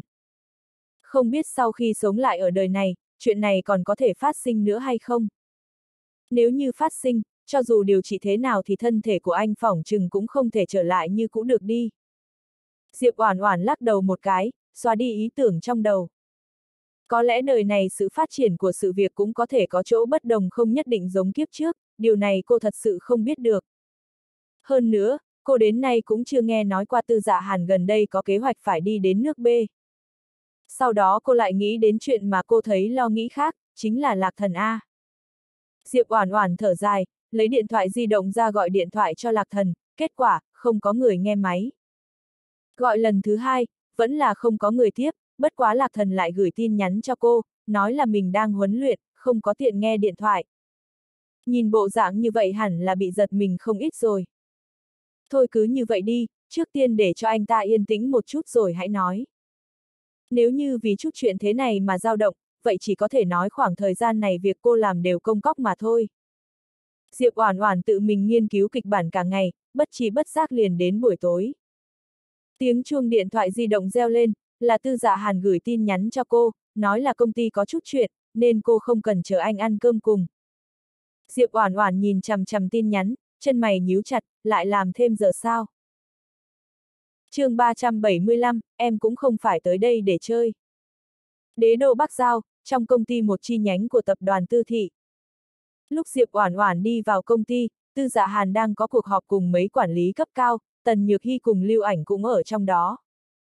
Vẻ mặt tất cả mọi người đều đều nghiêm túc. Vừa nhìn thấy Diệp Oản Oản, sắc mặt của Lưu Ảnh nhất thời liền trầm xuống. Mấy quản lý cấp cao khác mặc dù đối với Diệp Oản Oản rất tò mò, suy đoán chắc cô ấy là người yêu trong truyền thuyết của boss nhà mình, nhưng cả đám dù tò mò nhưng không có một ai dám thể hiện sự hiếu kỳ của mình quá rõ ra mặt tất cả đều quy củ, không dám nhìn thêm, tập trung sự chú ý tiếp tục vào cuộc họp. Còn Tần Nhược Hy, chỉ có lúc Diệp Oản Oản đi vào, thì nhìn về phía cô lễ phép gật đầu một cái, ngay sau đó vẻ mặt liền bình thường tiếp tục họp. Trên bàn làm việc của Tư Dạ Hàn chất đầy các loại tài liệu, trong góc trên bàn trà có để một hộp đồ ăn, nhưng thức ăn bên trong không được động tới chút nào. Cái tên này toàn thân đều là khuyết điểm, dạ dày cũng cực kỳ yếu ớt, lại còn muốn hành hạ thân thể mình như vậy nữa sao? Thấy cô đột nhiên tới đây, tư dạ hàn ra hiệu cho cô tự mình tìm chỗ ngồi đợi một lát. Diệp Oản Oản không động, mấp máy môi, nhìn anh nói, cơm tối anh còn chưa có ăn. Tư dạ hàn như là không nghĩ đến cô cố ý tới đây một chuyến trình là để hỏi việc này, nói có chuyện quan trọng cần xử lý.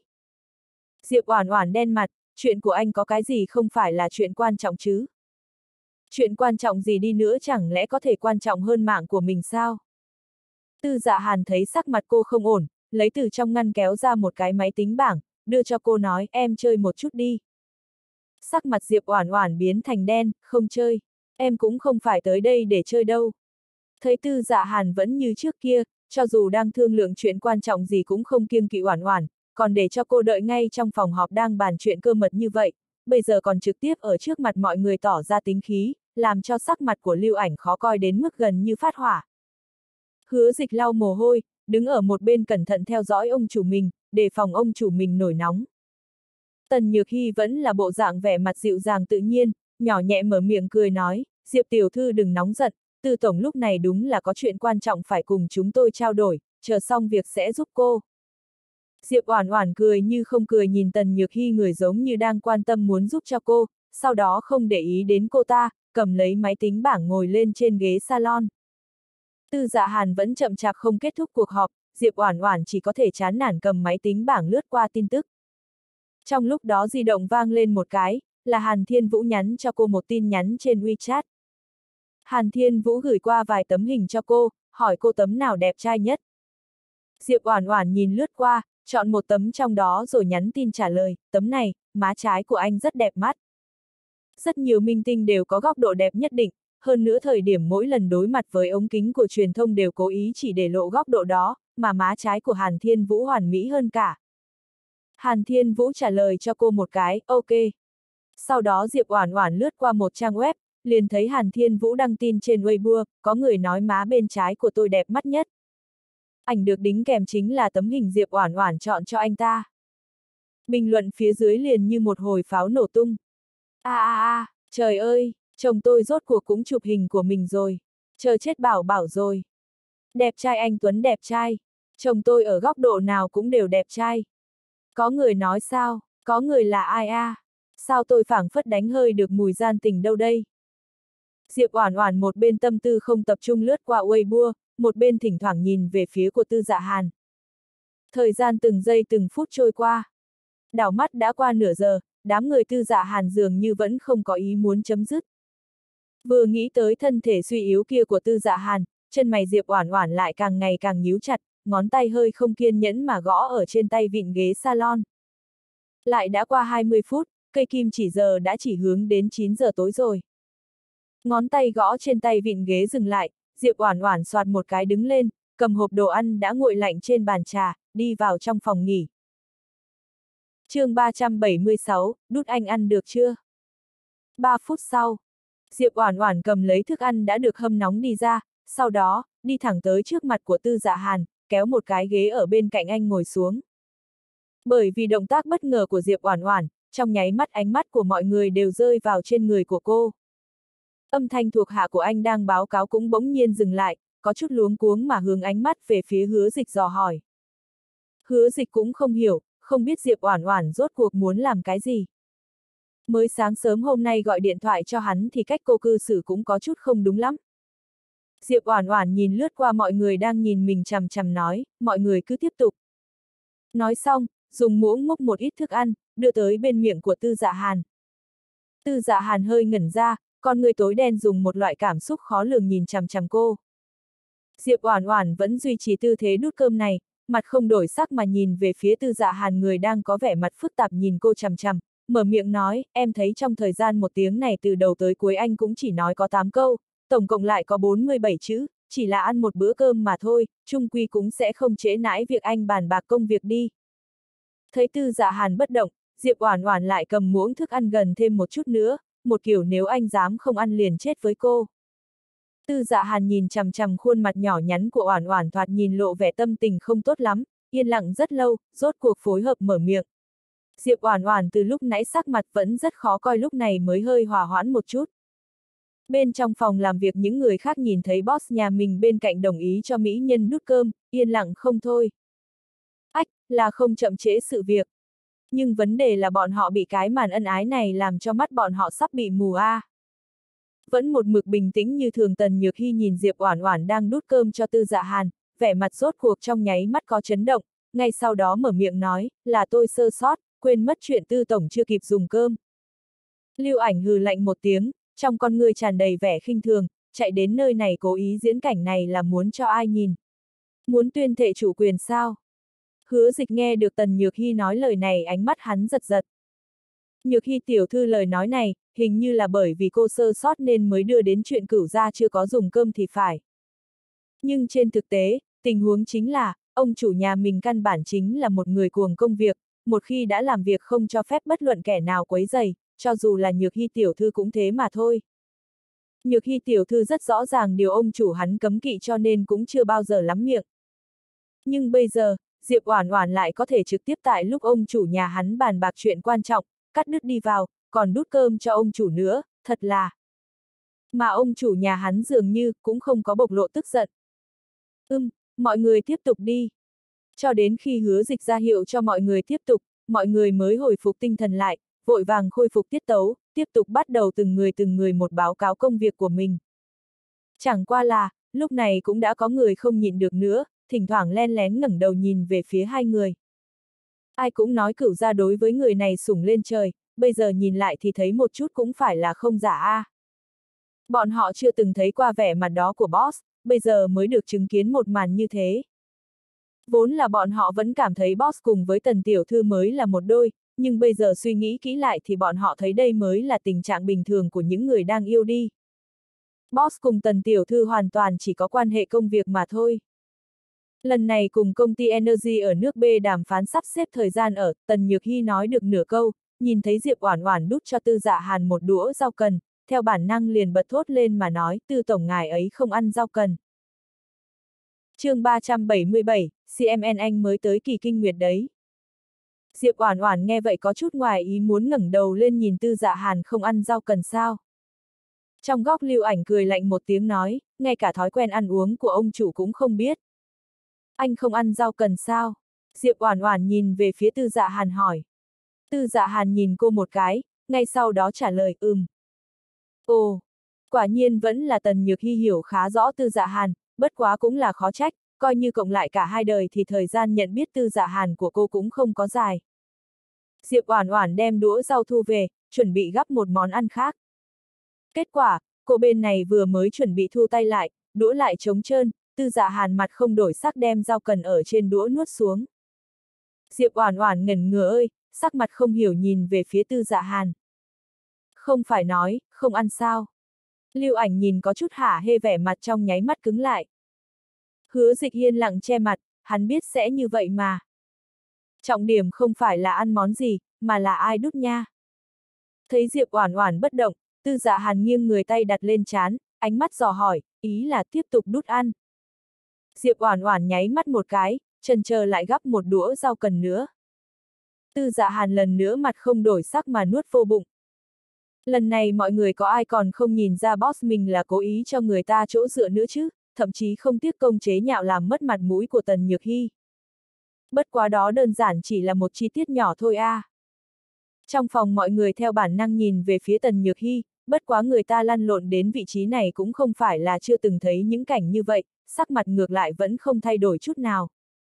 Nút hết cơm xong, Diệp Oản Oản cũng không nhiều lời nữa, ngay lập tức lần nữa trở lại ghế salon ngồi đợi.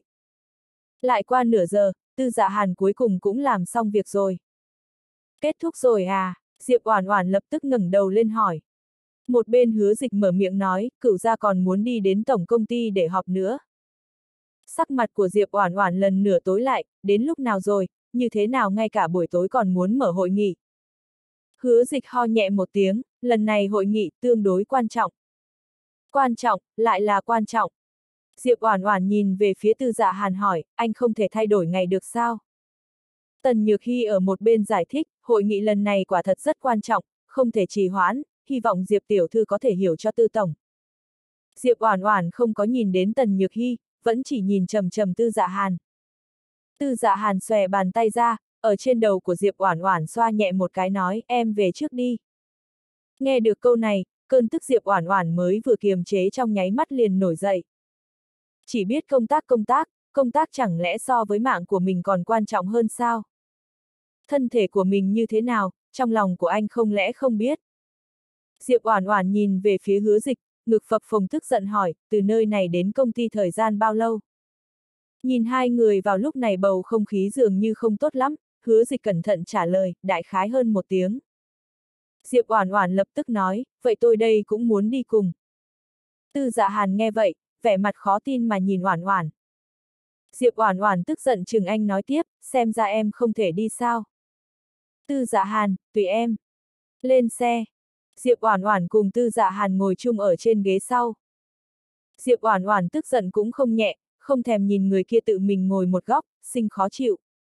Đang xem laptop, Tư Dạ Hàn rốt cuộc cũng phát hiện ra bạn gái mình tức giận, liền đem máy vi tính trên đầu gối gấp lại, nhìn Diệp Oản Oản.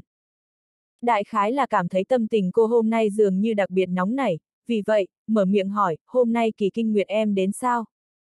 Diệp Oản Oản nhất thời trên trán nổi lên gân xanh. CMN anh mới tới kỳ kinh nguyệt đấy. chương 378, nhắm mắt lại, ngủ đi. Diệp Oản Oản giận đến cạn lời không còn muốn nói nữa. Dù cô chưa có tới kinh nguyệt cũng bị anh làm cho kinh nguyệt đến mất thôi. Quên đi quên đi, cô không chấp nhặt với anh nữa. Cái tên này căn bản liền không ở phạm vi con người bình thường, anh có thể biết được chuyện con gái đến kỳ kinh nguyệt sẽ nóng nảy đã là chuyện vô cùng không dễ dàng rồi. Diệp Oản Oản hít sâu một hơi, để cho mình tỉnh táo lại, sau đó cũng không muốn kéo dài thời gian, sụ mặt một cái kéo đầu của Tư Dạ Hàn, đè ở trên đùi của mình nói, còn hơn một tiếng nữa, anh ngủ một chút đi. Cái người này buổi sáng 6 giờ đã ra khỏi cửa, đến bây giờ đã 10 giờ tối, cơm cũng không ăn đúng bữa, nếu cứ liên tục với cường độ công tác cao suốt 16 giờ như vậy, coi như là thân thể thật tốt cũng không nhìn được chứ đừng nói đến tình trạng hiện tại của anh. Anh thật coi mình không phải là con người sao? Tư dạ hàn gối đầu trên hai chân mềm mại của cô, trên mặt đôi mắt trong trẻo lạnh lùng thoáng qua một tia ngoài ý muốn cùng cảm xúc muốn tìm tòi nghiên cứu. Diệp Oản Oản lập tức chừng anh, nhắm mắt lại, ngủ đi. Chắc là thực sự quá mệt mỏi, lời nói của Diệp Oản Oản cũng giống như là một cái chốt nhấn xuống liền đóng lại vậy, ánh mắt của Tư Dạ Hàn muốn tìm tòi nghiên cứu còn chưa kịp nhìn ra điều gì, thì con người đen kia đã bị mí mắt che chắn khép lại. Diệp Oản Oản nghĩ đến, rất nhiều đứa con nít đều thích ôm lấy đồ chơi mình yêu thích hoặc là búp bê đi ngủ, một khi búp bê không ở người bên, liền không có cách nào ngủ được. Chính bản thân mình lại có tác dụng đối với tư dạ hàn, khả năng giống như là con búp bê được trẻ con ôm vào trong ngực khi đi ngủ đi. Phía trước hứa dịch đang lái xe xuyên qua kính chiếu hậu phía sau thấy được hình ảnh chỗ ngồi ghế sau, trên mặt một mảng phức tạp. Lúc sáng cuộc điện thoại kia gọi đến hỏi thăm thân thể của ông chủ, sau đó tự mình chạy tới gần như ép buộc đút cơm, hiện tại lại thừa dịp trên đường đi tận dụng thời gian ngắn ngủi chỉ hơn một giờ đồng hồ để cho ông chủ mình chìm vào giấc ngủ, nghỉ ngơi một chút. Diệp Oản Oản cô ấy đây là, rốt cuộc có chủ ý gì đây? Dù thế nào cũng sẽ không phải, thực sự vì thân thể của ông chủ đi chứ. Xe vững vàng chạy, bên trong xe đều rất thoải mái tư dạ hàn rất nhanh liền ngủ say. Diệp Oản Oản theo tủ chứa đồ bên trong lấy ra một cái chăn đắp lên người tư dạ hàn, ngay sau đó thử hỏi dò hứa dịch, mấy ngày nay tư dạ hàn có sắp xếp muốn đi công tác sao? Hứa dịch mở miệng, có, cuối tuần sau. Đi nơi nào? Diệp Oản Oản lập tức hỏi. Nước B, nghe nói là có một hợp đồng quan trọng, hội nghị tối nay chính là muốn thảo luận chuyện này. Hứa dịch cũng không kiêng kỵ Diệp Oản Oản, trực tiếp trả lời. Dù sao thái độ ông chủ nhà mình đối với Diệp Oản Oản đã bày ở chỗ đó, hắn còn muốn lừa gạt cùng che giấu cái gì nữa chứ? Diệp Oản Oản vừa nghe đến mấy chữ, nước B, bàn hợp đồng, trong lòng đột nhiên chợt lạnh. Sự kiện cùng kiếp trước phát triển giống nhau như đúc, Tư Dạ Hàn lại còn là phải đi nước B. Nhất định phải đi sao? Có thể đổi ngày hay không? Nhất định phải là Tư Dạ Hàn tự mình đi sao? Diệp Oản Oản hỏi. Hứa dịch thần sắc khổ sở nói, chuyện này, sợ rằng không đi không được. Lần hợp tác hạng mục này toàn bộ công ty đều đã chuẩn bị thời gian hơn 3 năm, không có khả năng không đi, cũng không có biện pháp tùy ý đổi ngày, thời gian trước đây đã hẹn xong lịch rồi, hơn nữa cũng chỉ có thể để ông chủ tự mình đi mà thôi. Oản oản tiểu thư cuối tuần có chuyện gì sao? Diệp oản oản trầm sắc mặt, không nói gì. Nghe lời nói của hứa dịch, chuyện lần này là không đi không thể rồi, hơn nữa bởi vì rất quan trọng, còn nhất định phải do tư dạ hàn tự mình đi nữa. Nếu như cô không giải thích được nguyên nhân thì muốn ngăn cản chuyện này cơ hồ là chuyện không thể nào. Đang êm đang đẹp, dựa vào cái gì để không cho anh ấy đi đây? Nếu cô nói từ dạ hàn lần này sẽ gặp phải nguy hiểm thiếu chút nữa chết ở nước B ai sẽ tin cô? Chẳng lẽ, lịch sử lại phải tái diễn à? chương 379, lúc tôi uống rượu thì nên cách xa tôi một chút. Đến cửa công ty, Diệp Oản Oản đánh thức Tư Dạ Hàn dậy. Anh cứ tiếp tục công việc của mình đi, em sẽ tự mình đi về. Để cho hứa dịch đưa em về. Đoán chừng ngủ một chút làm cho tinh thần tư dạ hàn khá hơn nhiều nên giọng nói của tư dạ hàn lúc này dường như so với ngày thường ôn hòa hơn nhiều. Nhưng tâm tình của Diệp Oản Oản không có chút chuyển biến tốt nào cả, vẫn bị tích tụ ứ động nhìn chằm chằm một người nào đó đang làm việc đến điên cuồng, sau đó không nói tiếng nào xoay người bước đi. Thật là hoàng đế không gấp thái giám đã vội gần chết. Vạn cảnh danh uyển. Sau khi trở về, Diệp Oản Oản liền bắt đầu dầu dỉ, cô phải làm sao để có thể ngăn cản được việc tư dạ hàn tự mình đi chịu chết như vậy được đây. Đáng tiếc, suy nghĩ hồi lâu cũng không nghĩ ra phương pháp tốt nào cả. Cô cũng không phải là Tần Nhược Hy, lời nói ra hoàn toàn không có trọng lượng.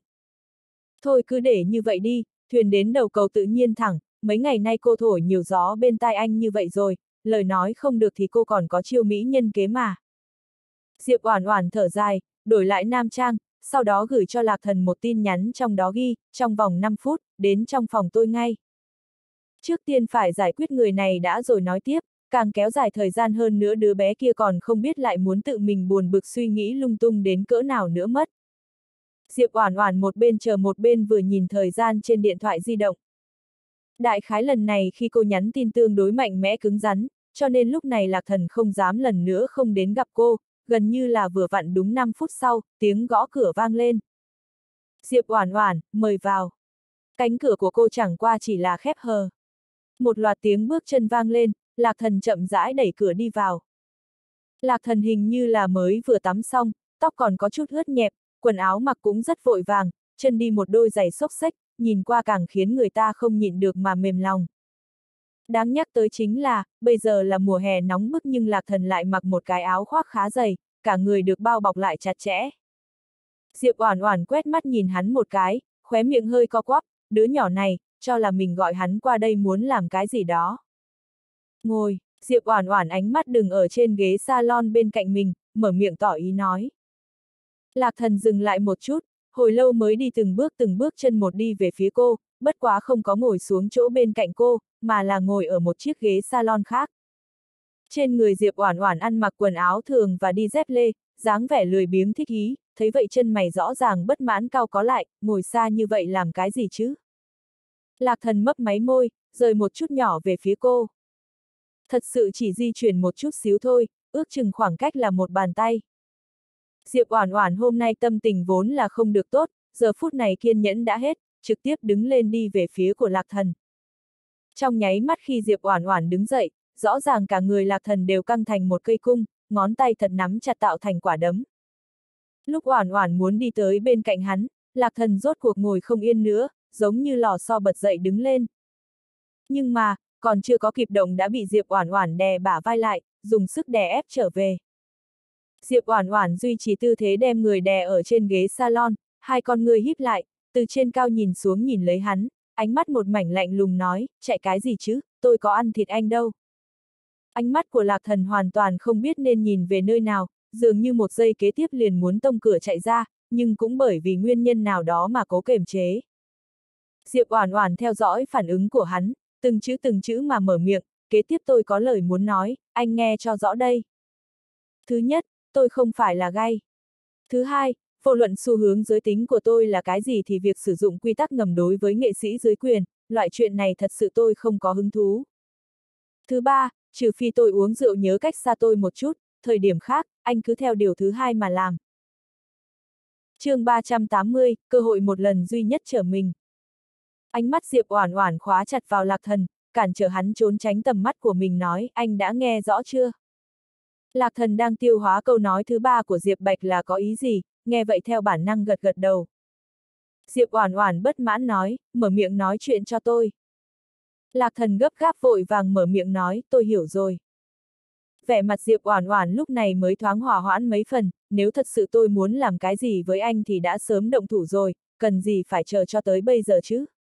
Cái tôi nhìn chúng là giá trị thực sự của anh kìa. Tôi biết không thiếu người làm người đại diện ra cũng làm thêm chút chuyện như dẫn mối làm những chuyện không sạch sẽ, bọn họ nếu chỉ sử dụng quy tắc ngầm với nghệ sĩ của mình là một chuyện, nhưng có người còn muốn nghệ sĩ mình đi ra ngoài bồi rượu thậm chí bồi ngủ với người khác nữa. Bởi vì loại chuyện này trong giới giải trí phổ biến xưa nay, nên những người nghệ sĩ nghĩ muốn nghiêm túc diễn xuất cùng trở thành nghệ sĩ chính đạo ở trong mắt người khác ngược lại lại trở thành kẻ ngu ngốc. Bất quá tôi có thể bảo đảm, tôi sẽ không cưỡng ép anh làm những chuyện kia, tất cả mọi chuyện đã có tôi lo liệu, anh chỉ cần làm cho tốt một chuyện, đó chính là đóng phim mà thôi. Nhưng, điều kiện tiên quyết chính là anh có thật sự đáng giá để tôi tiêu tốn tinh lực nhiều như vậy hay không thôi. Nghe đến đó, thân sắc của lạc thần đã hòa hoãn không ít, hơn nữa có thêm kiên quyết đáp lời, tôi sẽ cố gắng. Diệp Oản Oản ngồi trở lại trên ghế salon, yên lặng nhìn hắn nói, không phải là cố gắng, mà là phải chiến đấu đến cùng, đây chỉ là cơ hội duy nhất một lần để trở mình thôi. Anh cũng biết, Chu Văn Bân vẫn đang ngó chừng chúng ta, lần này chúng ta sở dĩ sẽ thành công, hoàn toàn là bởi vì chiếm cứ được tiên cơ, thiên thời địa lợi nhân hòa, mọi chuyện đang tự phát triển theo chiều hướng tích cực, ông ta muốn ngăn cản cũng hữu tâm vô lực. Nếu như chỉ cần thất bại lần này thì hết thảy tất cả đều thành công dã tràng, khả năng cả đời anh cũng không có cơ hội tốt lần thứ hai như vậy nữa đâu. Tôi biết rồi. Biết là tốt rồi, trở về sớm nghỉ ngơi một chút đi, kịch bản ngày mai chúng ta sẽ nói chuyện tiếp. Ừm. Tư gia.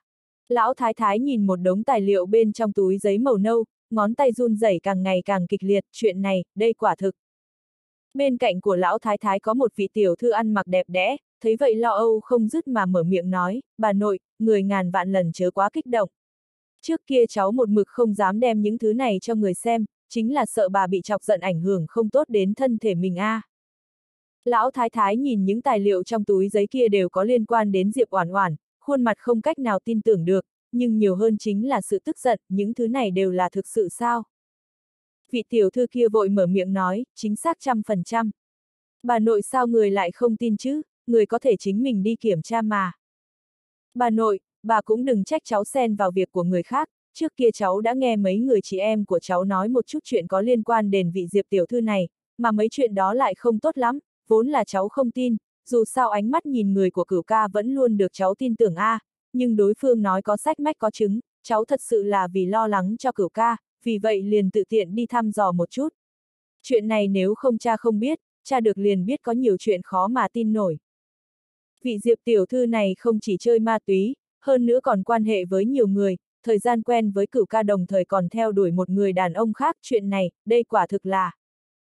Cửu ca của chúng ta là người ưu tú như vậy, làm sao có thể cùng loại con gái bị ổi này qua lại được. Trong giọng nói của vị tiểu thư kia tràn đầy căm giận. Lão thái thái nhắm mắt một cái, một hồi lâu sau, rốt cuộc cố gắng đè nén tất cả tâm tình trong mắt xuống đáp, được rồi, bà biết rồi, cháu nên trở về đi thôi. Vị tiểu thư kia hơi nhíu mày nói tiếp, bà nội, Diệp tiểu thư kia, bà định xử lý như thế nào? Cháu nghe nói cửu ca bị người phụ nữ này mê hoặc làm cho thần hồn điên đảo, bây giờ người có thể khuyên cửu ca sợ rằng chỉ có bà thôi. Lão thái thái ánh mắt sắc bén nhìn về phía đối phương, bà tự có chừng mực. Thấm du, cháu nhớ quản kỹ miệng của mình, chuyện này, không được để cho bất kỳ kẻ nào biết. Audio điện tử võ tấn bền. chương 381, khổ nhục kế. Bà nội, thấm du biết rõ điều này mà, dù sao chuyện xấu trong nhà cũng không thể truyền ra ngoài. Vị tiểu thư kia vốn còn muốn nói nhiều hơn nữa, nhưng sợ nhiều quá hóa dở, vì vậy lúc này mới khéo léo cùng lão thái thái nói lời từ biệt sau đó rời đi.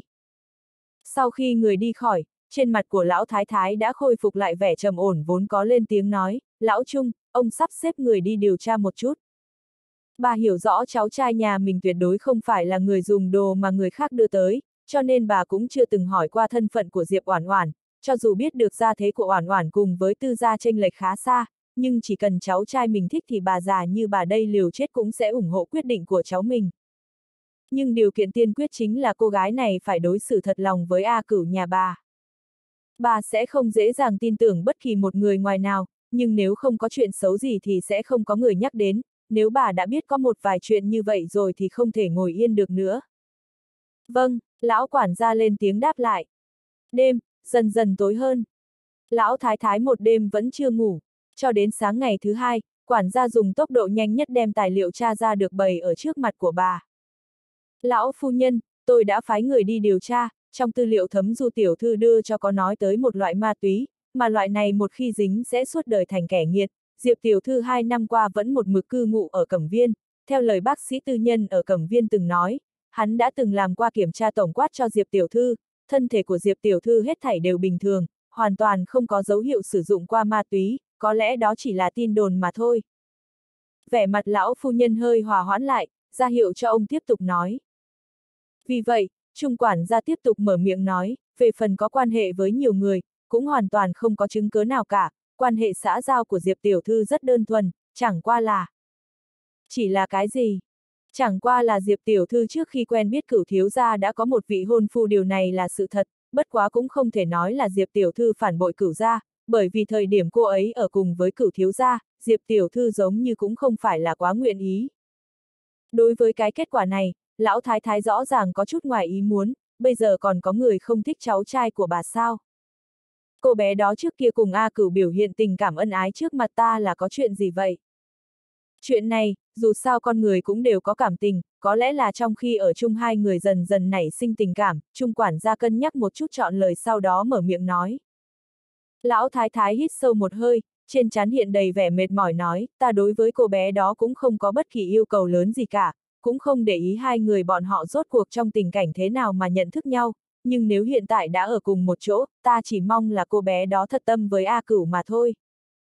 Trung quản gia an ủi, từ sau khi cửu thiếu gia yêu đương, mọi chuyện đúng là phát triển theo hướng tốt, vị diệp tiểu thư kia nhìn cũng không giống như là người có tâm tư không thể dò xét được.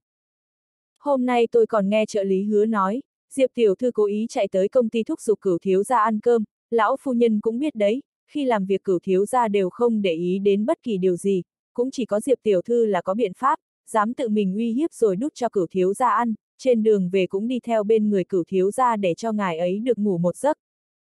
Cho nên điều mà tôi muốn nói là con cháu tự có phúc của con cháu, cửu thiếu gia có tổ tông che chở, lão phu nhân vẫn là nên buông lỏng tinh thần của mình đi.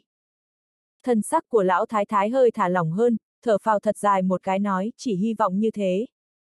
Trong một tuần này, Diệp Oản Oản vẫn luôn chăm chú để ý tới tất cả hành tung đi lại của Tư Dạ Hàn cũng như theo dõi kỹ càng chuyện một ngày ba bữa cùng nghỉ ngơi của Tư Dạ Hàn. Rất nhanh thời gian thoáng một cái đã qua, ngày mai sẽ là thời gian Tư Dạ Hàn phải đi công tác. Mấy ngày nay cô một mực đều không thể tìm được thời cơ thích hợp cùng lý do để ngăn cản chuyến công tác này của Tư Dạ Hàn. Cô cũng đã cẩn thận nghĩ qua, nếu là chuyện không quan trọng, Tư Dạ Hàn còn có thể dung túng cô, nhưng chuyện lớn như vậy không có khả năng mặc cho cô quậy phá muốn làm gì thì làm. Thổi gió bên gối và Mỹ nhân kế đều không có khả năng có hiệu quả cao, cho nên hiện tại cũng chỉ còn lại có cách dùng, khổ nhục kế mà thôi. Diệp Oản Oản buồn rầu, không có nghĩ ra cách nào, cuối cùng chỉ có thể cắn chặt răng, từ bên trong tủ lạnh đem mấy tảng đá mà mình đã sớm chuẩn bị xong lấy ra, toàn bộ bỏ vào trong bồn tắm chương 382, không cho phép anh đi. Diệp Oản Oản ngâm nước đá thật lâu, lạnh đến độ run lẩy bẩy mới bỏ ra. Từ khi trọng sinh tới nay cô chưa có chịu qua loại tra tấn như thế này lần nào, bây giờ cô cũng thật là liều mạng khi làm điều này mà. Sau đó khi trở lại phòng khách, Diệp Oản Oản đem đồ đạc mà mình mấy ngày nay đã chuẩn bị xong toàn bộ thu dọn lại hết, sau đó nhét vào trong một chiếc vali hành lý to, lôi kéo trở về Cẩm Viên. Khi cô đón xe đến Cẩm Viên thì đã là đêm khuya. Diệp Oản Oản đưa vali trong tay giao cho người giúp việc mang lên trên lầu, sau đó hỏi cửu gia trở về chưa? Dạ Oản Oản tiểu thư, còn chưa có. Người giúp việc trả lời. Diệp Oản Oản nghe vậy, nhất thời chân mày nhíu chặt. Vì hạng mục này, trong suốt thời gian 3 năm tư dạ hàn cơ hồ đều liên tục làm việc với cường độ cao, khoảng thời gian gần đây, càng bởi vì gần thời điểm mấu chốt, cho nên mỗi ngày đều phải làm thêm, giờ giấc ngủ nghỉ cũng đều không được bảo đảm. Chẳng qua Diệp Oản Oản vẫn nhìn chằm chằm anh, tận dụng mọi thứ cũng như mọi cơ hội mới có thể trói buộc được anh theo ý cô một chút mà thôi. Cô biết rõ thân thể của Tư Dạ Hàn, biết rõ nếu anh vẫn tiếp tục như vậy thì thân thể sẽ chuyển biến xấu hơn, nhưng cô lại không có cách nào ngăn cản lại được. Diệp Oản Oản nằm ở trên giường, chờ đến dạng sáng Tư Dạ Hàn cũng chưa có trở về. Lúc tỉnh lại đã là buổi sáng ngày hôm sau, bên người cô vẫn còn sót lại khí tức thanh lãnh quen thuộc. Nhìn ngoài cửa sổ trời đã sáng lên, Diệp Oản Oản trong nháy mắt thanh tỉnh, ngồi dậy bước một bước dài chạy xuống dưới lầu. Xa xa nhìn thấy ngoài cửa đã đậu mấy chiếc xe, một chiếc là chở Tư Dạ Hàn, mấy chiếc khác là đi theo bảo vệ anh. Tư Dạ Hàn đang cùng người giúp việc ở Cẩm Viên giao phó cái gì đó, nói xong liền hướng cửa đi ra ngoài. Hứa dịch chậm rãi đi phía trước, kéo ra cửa xe ở chỗ ngồi phía sau, mấy người lưu ảnh cũng lần lượt chuẩn bị lên xe. Mắt thấy Tư Dạ Hàn muốn đi khỏi, con người của Diệp Oản Oản chợt co rút nhanh, lấy tốc độ nhanh nhất chạy như bay đuổi theo. Trong nháy mắt ngay lúc Tư Dạ Hàn muốn bước lên xe, sau lưng đột nhiên bị một cổ sức mạnh đụng tới. Một giây kế tiếp, bên hông liền bị một thân thể có mùi thơm mềm mại gắt gao ôm lại. Tư Dạ Hàn đầu tiên là hoảng hốt một giây, ngay sau đó chậm rãi xoay người. Tiếp theo liền nhìn thấy Diệp Oản Oản đầu tóc rối bời, trên người còn mặc quần áo ngủ, trên chân chỉ đi một chiếc dép, thở hồng hộc, mặt đầy nôn nóng. Em không cho phép anh đi đâu hết. Tư dạ hàn nhìn thấy oản oản một chân trần không đi dép, chân mày nhíu chặt dép đâu. Đều đã đến lúc nào rồi còn quản giày dép cái gì chứ? Diệp oản oản thở hổn hển, một bên gắt gao nắm tay của tư dạ hàn, một bên lo lắng lặp lại, không cần đi. Không nên đi công tác, không nên đi nước bê được không? Trong lúc nhất thời, tầm mắt của hứa dịch, lưu ảnh cùng mấy người bảo vệ đều rơi ở trên người của Diệp Oản Oản. Người giúp việc cầm viên thấy vậy vội vã giúp Diệp Oản Oản nhặt một chiếc dép bị đánh rơi kia đi vào chân. Tư Dạ Hàn đang muốn giúp cô đi vào, Diệp Oản Oản lại nóng nảy một cước đem một chiếc dép còn lại trên chân cô cũng cho đá bay luôn, rồi nói anh đừng để ý đến giày dép nữa. Lời nói của em anh có nghe hay không? Anh không nên đi đến nước B. Khoảng thời gian này tâm tình của Diệp Oản Oản đều lên xuống thất thường, nóng nảy dễ giận, Tư Dạ Hàn cũng đã quen rồi, chỉ coi là cô lại đang cáu kỉnh, mở miệng nói, một tuần sau anh sẽ trở lại. Diệp Oản Oản giận đến mức không thể tưởng được, trở lại cái rắm, trở lại thì có thể trở lại, nhưng chờ khi anh trở về lúc đó mạng nhỏ của anh đều sắp hết rồi. Diệp Oản Oản khóc thút thít mà dính lấy người Tư Dạ Hàn, không cho đi không cho đi, thân thể của em không thoải mái, khó chịu muốn chết, anh muốn bỏ lại em một mình sao? Tư Dạ Hàn hơi nhíu mày, em khó chịu chỗ nào? Diệp Oản Oản lập tức mở miệng nói, đầu em choáng váng hoa mắt tứ chi vô lực hô hấp đều khó khăn, nhất định là sốt cao rồi. chương 383, Mỹ nhân kế. Tư dạ hàn nghe vậy, đưa bàn tay lớn ra đặt lên trán Oản Oản, một lát sau, vẻ mặt bình thường nói, nhiệt độ bình thường, không có lên cơn sốt. Sắc mặt của Diệp Oản Oản nhất thời tối sầm lại. Em gái anh a, thật là uổng phí nước đá của cô rồi, mới vừa rồi lúc rời giường cô thật ra đã phát hiện, cô không chỉ không có lên cơn sốt hơn nữa tinh thần còn sảng khoái, khỏe khoắn. Không có cách nào khác nữa nên cô chỉ có thể dùng tài diễn xuất của mình thôi. Diệp Oản Oản nghe vậy nhất thời lên mặt tố cáo, nói bậy, nếu vậy sao em lại khó chịu như vậy được? Tay của anh không có chuẩn chút nào cả. Tên lường gạt, anh chính là muốn đi, chính là muốn bỏ lại em. Xuất phát từ cẩn thận, Tư Dạ Hàn nhìn cô một cái, ngay sau đó cầm lấy cổ tay của Diệp Oản Oản, lòng bàn tay chạm vào mạch tay của cô. Diệp Oản Oản nhìn thấy động tác của Tư Dạ Hàn, sắc mặt ngẩn ngơ, đều nhìn đến trợn tròn mắt, mẹ kiếp, anh khi nào thì cách bắt mạch cũng học được vậy. Diệp Oản Oản vội vàng đem tay co lại một cái, Bất qua Tư dạ hàn đại khái cũng đã biết được chuyện rồi, anh đã biết thân thể của cô không có việc gì, vẻ mặt có hơi chút bất đắc dĩ nói, không cho em nghịch ngợm nữa, đại bạch ở hậu viện, em đi tìm nó chơi đi. Đệt, đại bạch, đại bạch trở về rồi sao? Ở hậu viện sao? Diệp Oản Oản gắng gượng để kiềm chế cái hấp dẫn cực lớn này, chật vật cắn cắn răng, sau đó ôm hông của Tư Dạ Hàn không thả, em không cần. Em không muốn, không muốn đại bạch, em chỉ muốn anh thôi. Em muốn anh đi theo em a. À. Vẻ mặt Tư Dạ Hàn tựa hồ có hơi ngoài ý muốn, nơi con tim vô hình mềm nhũn, có phải em lại thấy ác mộng hay không? Đầu nhỏ của Diệp Oản Oản chôn ở lồng ngực anh, gật đầu liên tục nói ưm, em thấy ác mộng, là một cơn ác mộng rất đáng sợ rất đáng sợ, em nằm mơ thấy anh lần này đi nước B sẽ gặp phải nguy hiểm, cho nên, anh không nên đi có được hay không? Tư dạ hàn vuốt tóc của cô rồi đáp lại, cảnh trong mơ đều là ngược lại với hiện thực. Diệp Oản Oản vội la lên, nhưng cảnh đó lại vô cùng chân thật. Từng hình ảnh, mỗi một chi tiết nhỏ em đều nhớ rất rõ ràng. Em nhớ được tất cả mọi người các anh đều không hay biết mình bị ám sát, nhớ đến anh bị trọng thương, thiếu chút nữa chết đi.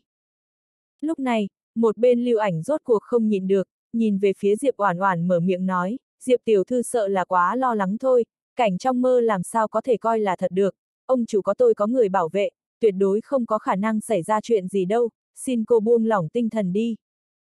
Diệp Oản Oản chừng hắn nói, tôi biết các anh lợi hại, nhưng anh làm sao bảo đảm không có người nào so với các anh lợi hại hơn, làm sao bảo đảm không có có bất kỳ tình hình bộc phát nào. Lưu ảnh chỉ coi cô là cố chấp muốn cãi bướng, trong tròng mắt chán ghét sâu hơn, nhìn về phía tư dạ hàn, cung kính nhắc nhở ông chủ, thời gian sắp không còn kịp rồi.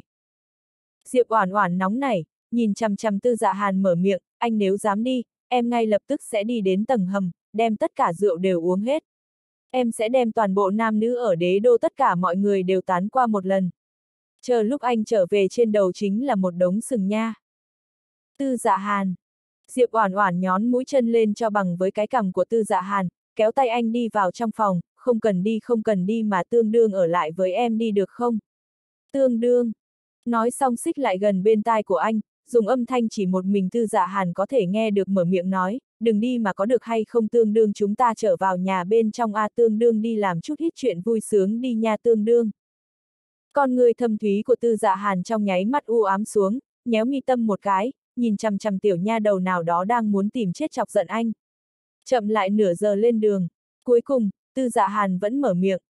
Nói xong, đem Diệp Oản Oản hai chân trần bế lên, đi vào bên trong nhà. Diệp Oản Oản nhất thời bất mãn lầu bầu, vậy chỉ có nửa giờ sao? Có thể quá ngắn hay không? Tư Dạ Hàn, im miệng.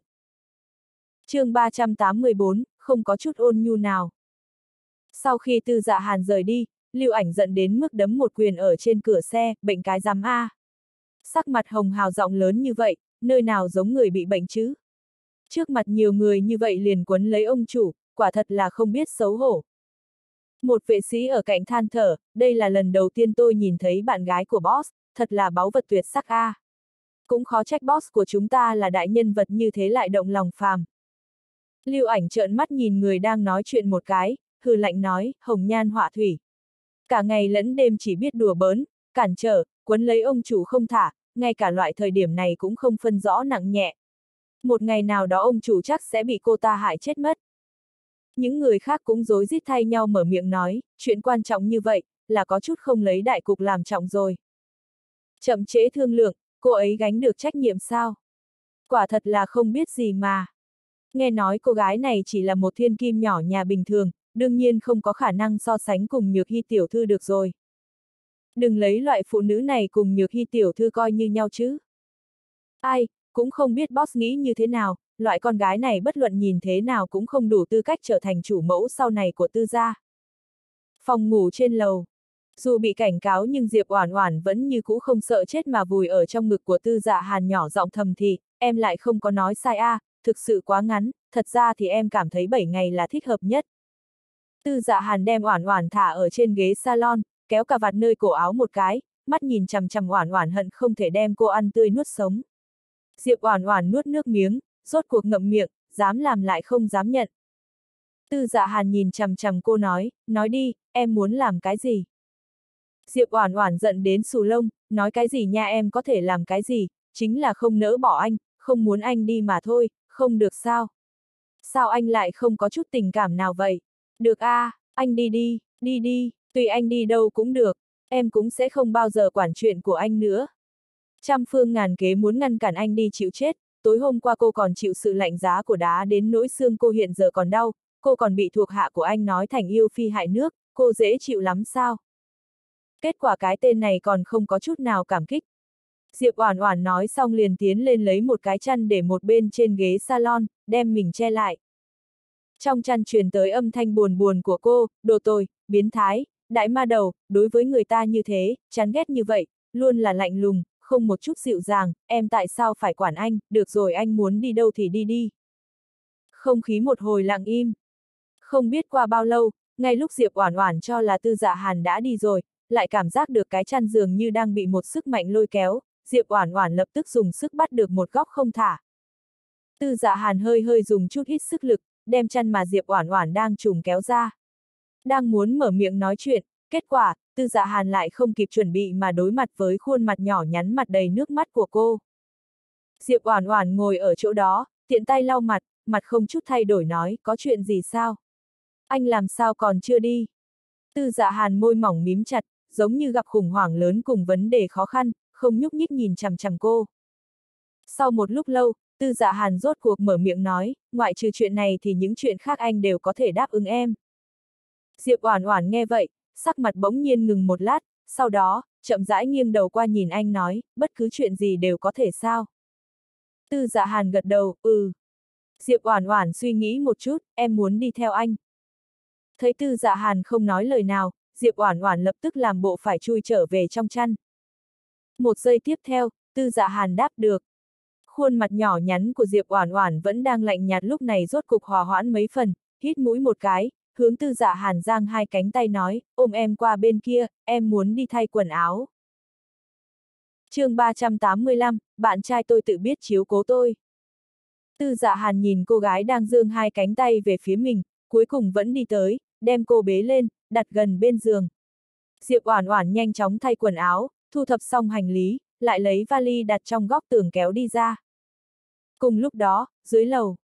Anh nói cái gì cô ta cũng muốn đi theo chúng ta sao? Nghe được lời nói của hứa dịch, vẻ mặt lưu ảnh không thể tin tưởng. Không nghĩ tới cô ta vì muốn quấn lấy ông chủ, không ngăn cản được, liền dứt khoát muốn đi theo, quả thực là vô sỉ đến cảnh giới không ai chấp nhận được mà. Hứa dịch ho nhẹ một tiếng đáp. Ưm, đúng vậy, vì để cho thuận tiện và đảm bảo an toàn của cô ấy, ông chủ của chúng ta dường như muốn điều thêm vài nữ vệ sĩ qua đây nữa. Mặt lưu ảnh đầy nóng này, đây đúng là quá hoang đường. Chuyện quan trọng như vậy, mang một cô gái hay cản trở việc của người khác đi làm cái gì chứ? Hứa dịch than thở nói, cậu bớt tranh cãi một tí đi, lại muốn bị chửi sao? Chuyện này đã được cửu ra quyết định rồi, cậu không thể thay đổi được đâu. Cậu coi như là không thích cô ấy, thì tốt xấu gì cô ấy cũng là người cửu gia chọn lựa. Nếu không phải bởi vì cô ta là người cửu gia chọn lựa, anh nghĩ rằng tôi còn có thể nhìn tới ngày hôm nay sao? Lưu ảnh đang đầy tức giận, chỉ thấy Diệp Oản Oản kéo cánh tay của ông chủ nhà mình, đổi một bộ quần áo khác từ trong nhà đi ra. Bên cạnh có hai người vệ sĩ giúp cô kéo vali đồ của mình. Hành lý của Diệp Oản Oản là một cái giỏ màu hồng, một cái túi hành lý, còn có một cái vali chứa đồ siêu cấp lớn ước chừng 30 tấc màu đen, mà tối hôm qua cô từ trong nhà trọ bên kia mang tới. Hành lý sau khi xách xuống lầu, mọi người không tự chủ được liền ghé ánh mắt của mình nhìn bao lớn bao nhỏ mà Diệp Oản Oản mang theo, nhất là cái dương lớn đến kinh người kia. Mang nhiều đồ như vậy, vị đại tiểu thư này là muốn xem như đang đi du lịch sao? Diệp Oản Oản cũng không thèm để ý đến ánh mắt của những người đó, mặt không đổi sắc dặn dò, bên trong dương đều là quần áo và đồ trang điểm tôi yêu thích nhất, nhất định phải giữ gìn cẩn thận, chớ làm mất, nhất là cái dương lớn kia. Vâng, tiểu thư, mấy vệ sĩ ho nhẹ theo tiếng. Lưu ảnh bước nhanh đi lên phía trước, lo lắng nhìn về phía tư dạ hàn nói, ông chủ, lần này thời gian ở đó khá lâu, trên đường đi điều kiện cũng không quá thoải mái, nếu như ngài mang theo Diệp tiểu thư sợ rằng không tiện. Nói bóng gió, không phải là ghét bỏ Diệp Oản Oản đang làm cản trở công việc của bọn họ đấy chứ. Diệp Oản Oản ôm lấy cánh tay của Tư Dạ Hàn, bĩu môi liếc Lưu Ảnh một cái trả lời. Có chuyện gì thì bạn trai tôi tự biết chiếu cố tôi, anh nên bất bận tâm chuyện không liên quan đến mình thì hơn. Lưu Ảnh nổi đoá, ông chủ lần này đi là có chuyện công, nếu cô thật quan tâm ông chủ thì không nên vào lúc này gây thêm phiền toái. Lời còn chưa dứt, cặp mắt lạnh lùng của tư dạ hàn nhìn lưu ảnh một cái, lưu ảnh. Nhận được ánh mắt cảnh cáo của ông chủ, lưu ảnh gắt gao nắm chặt tay thành nắm đấm để ở bên người, không cam lòng xong không phát ra bất kỳ âm thanh nào nữa. Thấy tư dạ hàn lên tiếng làm chỗ dựa cho cô, Diệp Oản Oản dường như sợ Lưu Ảnh không đủ tức giận liền đắc ý dương lên khuôn mặt nhỏ nhắn, trên gò má của Tư Dạ Hàn hôn một cái. Khi cô thấy Lưu Ảnh tức giận, cô tất nhiên sẽ rất vui vẻ. Quả nhiên, Lưu Ảnh thấy cô dùng cái bộ dáng không biết xấu hổ kia, lập tức giận đến càng kịch liệt hơn. Diệp Oản Oản cười như không cười nhìn Lưu Ảnh một cái, rồi mở miệng yếu ớt nói. Tôi thấy anh vẫn nên lo lắng chính mình đi A tương đương trong lúc rảnh rỗi tôi đã tính cho anh một quẻ, tính ra được anh đến nước B ngày đầu tiên, liền có họa sát thân, chật chật, cẩn thận một chút đi. kiếp trước, lần gặp chuyện này của tư dạ hàn huyên náo vô cùng lớn, sau khi đám người tư dạ hàn trở về, Diệp Oản Oản từ trong cuộc trò chuyện của mọi người hiểu được tất cả sự việc đã xảy ra, thậm chí rất nhiều chi tiết đều vô cùng rõ ràng. Trong ấn tượng, cô nhớ kỹ lưu ảnh đến nước B ngày thứ nhất, cũng không biết bởi vì nguyên nhân gì cùng người khác đánh nhau một trận, còn bị đánh đến bể đầu chảy máu. Cô, lưu ảnh chỉ coi là Diệp Oản Oản đang nguyền rủa mình, giận đến phổi cũng sắp nổ tung. chương 386, Nguy cơ trùng trùng. Tư gia. Một tiểu thư mặc đồ thương hiệu Chanel mới nhất đang ngồi ở trên ghế salon, ân cần quan tâm đến tư lão thái thái, trong miệng lanh lợi quan tâm nói, bà nội, trong khoảng thời gian này cửu ca đều không có ở nhà, thấm du sợ bà buồn nên cố ý qua đây trò chuyện với bà. Trong tay lão thái thái cầm một chuỗi Phật Châu, mặt không đổi sắc gật đầu đáp, ừ, cháu có lòng, bất quá, bà cũng không cần được người khác chăm sóc, cháu chăm sóc kỹ bản thân là tốt rồi. Thấm du vội vàng phụ họa nói, bà nội nói gì vậy? Thật ra thì, theo như lời bà nội loại chuyện này, cháu cũng không tới phiên để cháu làm mới đúng, chẳng qua là. Thấm du cố ý dừng tiếng nói lại, nhìn lão thái thái một cái, ngay sau đó mới tiếp tục mở miệng nó, cháu nghe nói, người kia của cửu ca lần này cũng đi theo cửu ca, cửu ca không có ở đây, chị Nhược Hy lại phải bận rộn công chuyện của công ty, thiệt tình là cháu đã nghĩ hết cách, cho nên cháu mới tới đây một chuyến, bà nội cũng đừng ghét bỏ cháu nha. Lão Thái Thái nghe vậy, chuyển động trên tay nắm Phật Châu dừng một chút, cháu nói oản oản đi theo tiểu cửu cùng đi nước bê sao. Đúng vậy, bà nội bà còn không biết sao là cháu nhiều lời. Thấm du một bộ vẻ mặt phát hiện tự mình nói sai đáp. Oản oản làm sao lại cùng đi theo tiểu cửu được? Lão Thái Thái hỏi. Chuyện này. Thấy Lão Thái Thái truy hỏi, thấm du vẻ mặt biểu tình khổ sở mở miệng nói, đại khái là Diệp Tiểu Thư cùng cửu ca tình cảm quá tốt, không nỡ để cửu ca rời đi. Nghe nói buổi sáng náo loạn thật lâu, còn nói thân thể của mình không thoải mái, sau đó còn nói gặp ác mộng, nằm mơ thấy cửu ca lần này đi gặp nguy hiểm, làm sao cũng không chịu để cho cửu ca đi, cửu ca không có cách nào cho nên mang theo cô ấy đi cùng.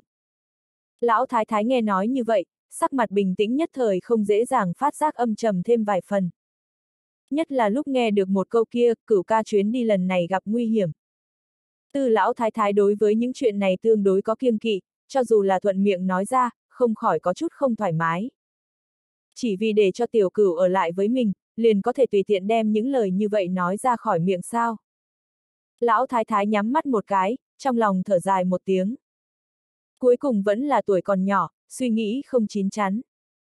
Người ngoài chỉ biết tiểu cửu là người ở vị trí tôn quý cùng cao cao tại thượng, cũng không biết cháu bà để đi tới bước này ngày hôm nay, rốt cuộc ngậm bao nhiêu cay đắng. Thậm chí bây giờ, cũng chỉ là ngoài mặt bình thản. Bên ngoài đối với nội bộ tư gia có bao nhiêu nguy cơ giấu giếm tiềm ẩn cơ chứ? Bao nhiêu người theo dõi tiểu cửu?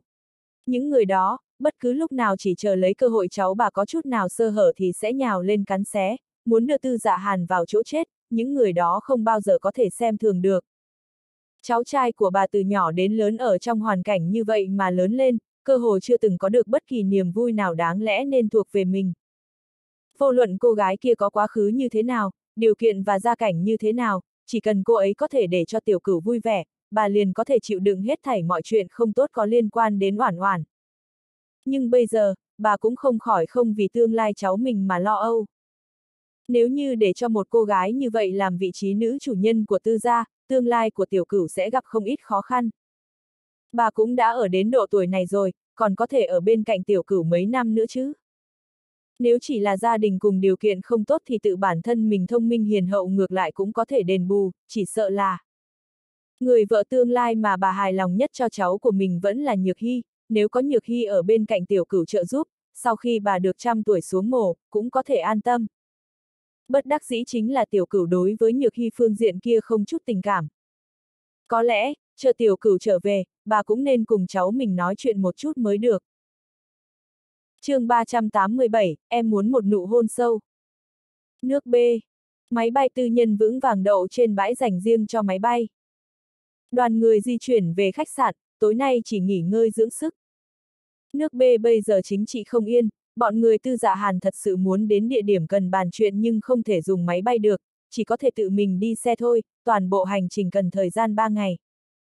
Suốt 3 ngày đều ở trên đường, điều kiện đường đi vào nơi đó cũng không cách nào bảo đảm được độ an toàn, nhưng dù sao mỗi một người trong bọn hắn đều đã được huấn luyện nghiêm chỉnh, đương nhiên sẽ không để ý loại chuyện nhỏ này, nhưng nếu mang theo một cô gái chân yếu tay mềm như Diệp Oản Oản lại là một chuyện khác, điều này làm cho trong lòng mọi người khó tránh khỏi có nhiều bất mãn. Dù sao lần đàm phán này là vô cùng quan trọng không cho phép có chút không may nào. Đến khách sạn, Tư Dạ Hàn liền bắt đầu tiến vào trạng thái làm việc. Diệp Oản Oản tay chống cầm lên nằm ở bên cạnh bàn làm việc của anh rồi nói công tác. Công tác, chỉ biết công tác, anh có phải nhìn máy tính so với em còn đẹp hơn không? Tay của tư dạ hàn vẫn gõ bàn phím không ngừng, ánh mắt nhìn qua oản oản một cái, ngay sau đó hơi hơi nghiêng đầu, tại gò má của cô thân mật hôn một cái, coi như là trấn an. Sắc mặt của Diệp oản oản nhất thời tối hơn, anh lại muốn dùng biện pháp qua loa lấy lệ như vậy để đuổi cô sao? Vẻ mặt Diệp oản oản nghiêm túc nhìn chằm chằm anh nói, em muốn một nụ hôn sâu, 3 phút cơ. Động tác tay của tư dạ hàn rốt cuộc cũng dừng lại, trong mắt anh phảng phất lửa tình nóng bỏng, nhìn chằm chằm cô gái bên cạnh mình, sau đó mở miệng nói chờ anh làm xong đã. Diệp Oản Oản, chờ em gái anh á. Diệp Oản Oản quả thật là hỏng mất.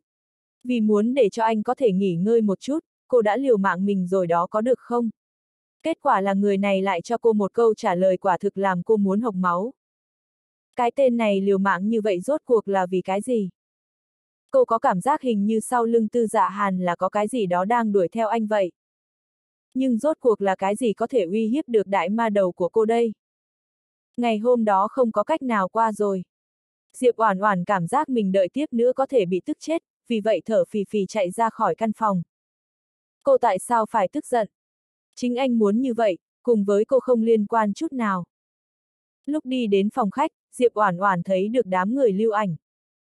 Nhìn thấy Diệp Oản Oản đang đi dạo trong đại sảnh, vẻ mặt lưu ảnh liền âm trầm nói, Diệp tiểu thư, ban đêm ở nước B cũng không yên ổn, cô nên ở trong phòng không nên tùy tiện đi lung tung sẽ tốt hơn, nếu không lỡ như cô xảy ra chuyện gì chúng tôi lại phải để tâm đi cứu cô nữa.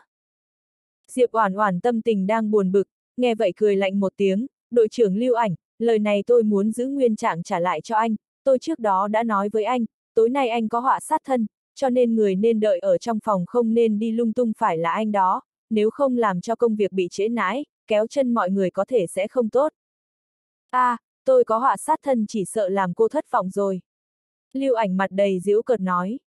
Mấy thuộc hạ bên cạnh lưu ảnh nghe được lời nói của Diệp Oản Oản cũng rối rít lắc đầu cảm thấy buồn cười. Khụ, Diệp tiểu thư, lần trước đội trưởng chúng tôi bị đổ máu là ba năm trước đây đấy. Đúng vậy, lấy bản lĩnh của đội trưởng chúng tôi, căn bản không người nào có thể lại gần được, đừng nói là muốn đánh anh ấy bị thương chảy máu. Họa sát thân cái gì, đây quả thật là chuyện quá hoang đường. Diệp Oản Oản ngáp một cái, lười biếng nhìn những người này một cái, tôi coi quẻ thường rất là chính xác, các anh nếu đã không tin thì tôi cũng không có biện pháp. Diệp Oản Oản đi rồi, trong đại sảnh một đám người toàn bộ đều cười lên. Ha ha ha, lại còn nói đội trưởng của chúng ta sẽ có họa sát thân, đây quả thực là chuyện cười nhất năm nay tôi nghe được. Một người khác đáp, đúng vậy, chuyện cười này tôi có thể cười cả một năm. chương 388, xem quẻ chính xác. Diệp Oản Oản đi bộ một vòng, phát hiện bên ngoài có một bãi biển, vì vậy đi tới cho khuây khỏa một chút. Bên cạnh bãi biển có một tảng đá lớn, Diệp Oản Oản ngồi lên đó tay ôm lấy đầu gối, nhìn sóng biển trước mắt đến ngẩn người. Đột nhiên trong nháy mắt có chút mê mang. Sau khi sống lại, quyết định của cô vốn là tạm thời trấn an Tư Dạ Hàn, sau đó nghĩ biện pháp có được tự do, trải qua cuộc sống thuộc về mình.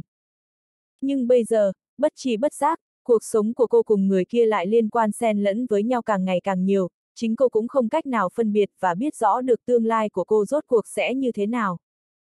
Diệp Oản Oản ôm lấy đầu gối ngồi ở đó, bất chi bất giác liền mơ mơ màng màng mà ngủ thiếp đi. Cách đó không xa, chuông điện thoại di động của nữ vệ sĩ đang âm thầm bảo vệ Diệp Oản Oản đột nhiên reo lên, lập tức cung kính mở miệng, đối với đầu kia điện thoại báo cáo vị trí của mình. Rất nhanh, một bóng người thật cao đi về phía tảng đá ngầm, cúi người, bế cô gái lên. Có lẽ nhận ra được hơi thở quen thuộc, Diệp Oản Oản lập tức tự động hui vào trong ngực của người đàn ông đó, trong miệng lầm bầm lầu bầu, quá đáng, thật là quá đáng, nghĩ để cho tôi sống một mình thành quả phụ sao? Sẽ không đâu, âm thanh trầm thấp nói ra. Tên lường gạt, tên lường gạt. Kiếp trước bọn họ nếu không có ly dị, kết quả cuối cùng khẳng định chính cô sẽ biến thành quả phụ. Sáng ngày thứ hai, lúc Diệp Oản Oản tỉnh lại phát hiện mình đã ở trên giường trong phòng khách sạn. Tư Dạ Hàn cũng không ở bên cạnh cô, 8 phần 10 lại cùng nhóm cán bộ cao cấp kia đi họp rồi. Diệp Oản Oản bất đắc dĩ vuốt ve cái chán, đổi quần áo đứng dậy đi đến phòng ăn dưới lầu. Oan ra ngõ hẹp. Cô mới vừa bước đi được mấy bước liền thấy Lưu Ảnh cùng đội vệ sĩ của hắn cũng đang dùng cơm. Một đám vệ sĩ cao to lực lưỡng khi nhìn thấy Diệp Oản Oản đi tới cửa, động tác ăn cơm trong nháy mắt đều dừng lại. Từng đôi mắt đồng loạt nhìn về hướng Diệp Oản Oản, ánh mắt kia, rất là khó có thể hình dung được. Diệp Oản Oản thấy vậy, chân mày nhíu lên, sau đó ánh mắt theo bản năng nhìn về hướng lưu ảnh trong đám người kia. Sau đó cô liền thấy, lưu ảnh ngồi ở trước bàn ăn, cả người trước sau như một mặc quần áo đen, sắc mặt thật sự khó coi, đại khái là bởi vì biết tâm tình đội trưởng hôm nay không tốt, thuộc hạ xung quanh hắn tất cả đều yên lặng không dám phát ra một chút âm thanh nào. Nhìn thấy Diệp Oản Oản, tất cả ánh mắt của mọi người đều theo bản năng quay đầu nhìn đội trưởng của mình. Sau đó Diệp Oản Oản thuận theo tầm mắt của mọi người rõ ràng nhìn thấy, trên trán Lưu Ảnh băng một vòng vải màu trắng, trên mảnh vải thấm vết máu màu đỏ tươi.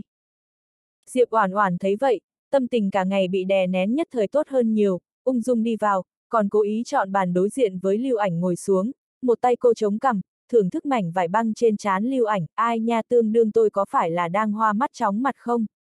Đây không phải là đội trưởng của chúng ta người có thân thủ rất giỏi, ba năm không có đổ máu đội trưởng lưu ảnh. Sao anh lại có thể bị người khác đánh bể đầu chảy máu vây? Tôi có phải là đang nằm mơ hay không? Sắc mặt của lưu ảnh đen lại so với cà phê đen trong tay hắn còn muốn đen hơn mấy phần, cái muỗng trong tay trong nháy mắt bị bóp cong. Những người kia tối hôm qua luôn mồm luôn miệng giễu cợt Diệp Oản Oản giờ phút này tất cả đều cúi đầu, tiếng ho khan liên tục vang lên, cảm giác mặt mình thật là đau. Ai sẽ nghĩ tới, lời cô gái này nói ra lại có thể thực sự linh nghiệm như vậy được. Quả thật là gặp quỷ. Diệp Oản Oản nhìn thấy cả một đám kia giống như chim cút một dạng, trên mặt cười ha hả, bây giờ các anh đã biết khỏe của tôi gieo có bao nhiêu là chính xác đi. Như thế nào có người nào muốn để cho tôi giúp tính quẻ một chút xem lành hay giữ hay không? Tôi sẽ bớt hai chục phần trăm cho các anh nhà tương đương. chương 389, chàng trai à, cậu gần đây có đảo hoa kiếp. Khụ khụ, còn muốn giúp bọn hắn xem quẻ sao. Nghe được lời nói của Diệp Oản Oản, vẻ mặt của tất cả mọi người. Diệp Oản Oản ở đây cười trên sự đau khổ của người khác còn chưa tính, lại còn tà thuyết mê hoặc người khác.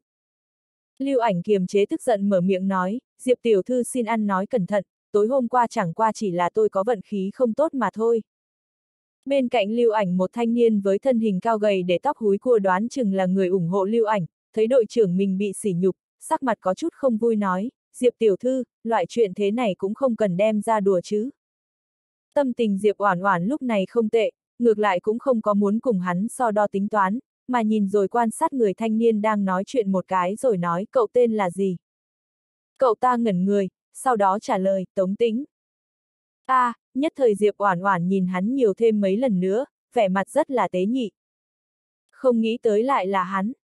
Diệp tiểu thư có gì chỉ giáo, Tống Tĩnh luôn cảm thấy biểu tình nhìn chăm chú đến hắn kia của Diệp Oản Oản làm hắn có chút sợ hãi. Diệp Oản Oản rũ con ngươi, cười một tiếng, đưa tay ra, làm một cái động tác bấm ngón tay, ngay sau đó ngẩng đầu nhìn về phía Tống Tĩnh mở miệng nói, tôi mới vừa tính cho cậu một quẻ.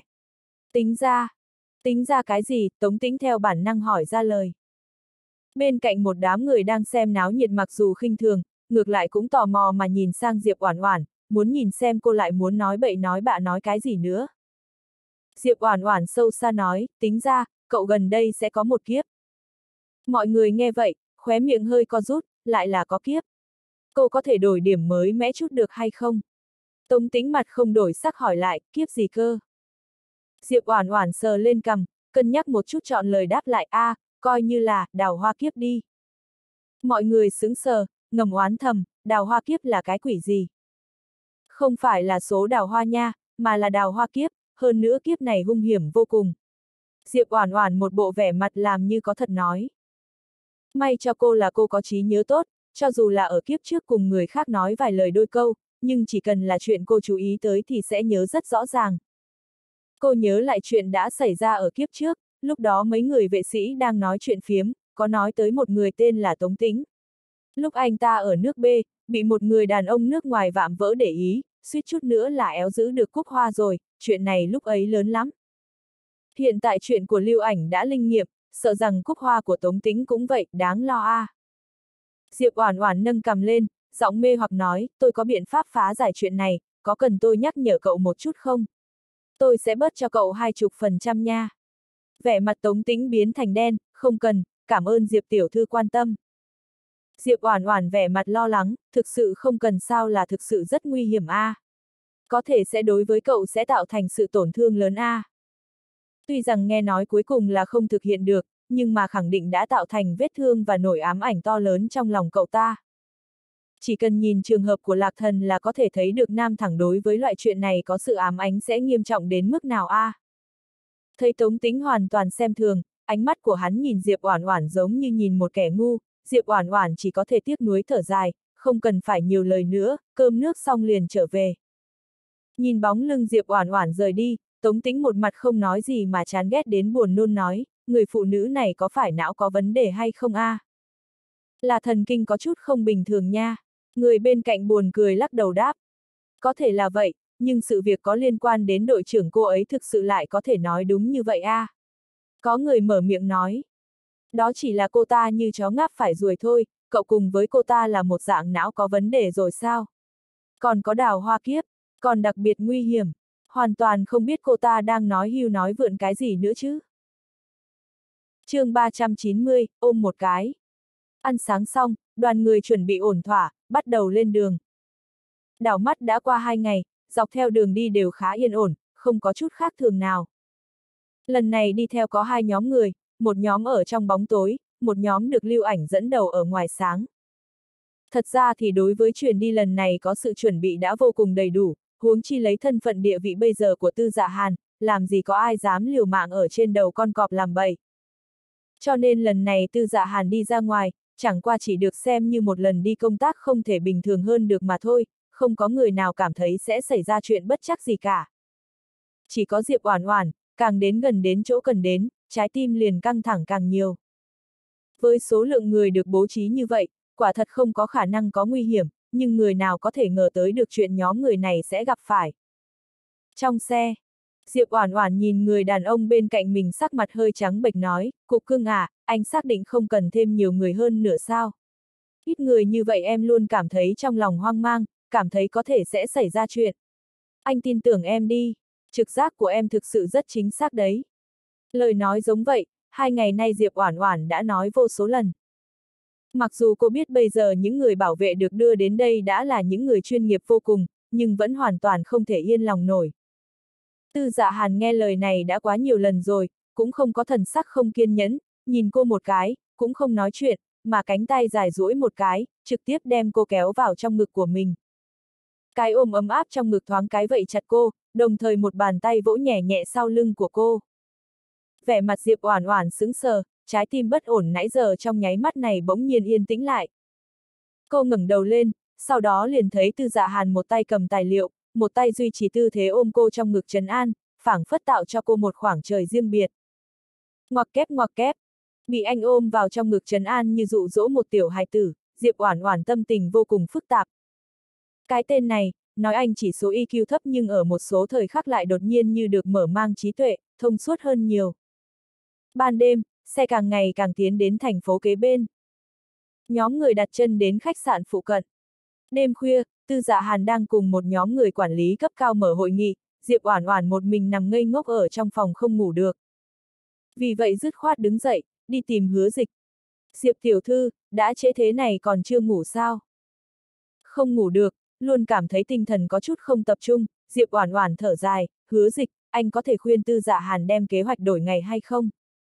Nếu như đối phương có ý định nhằm vào tư dạ hàn, coi như là tạm thời đổi ngày thì khả năng sau đó có chuyện xảy ra là điều không tránh khỏi, nhưng nói không chừng nếu đổi ngày kết quả sẽ có thay đổi lớn hơn thì sao, dù sao cũng tốt hơn so với diễn biến chuyện xảy ra ở kiếp trước.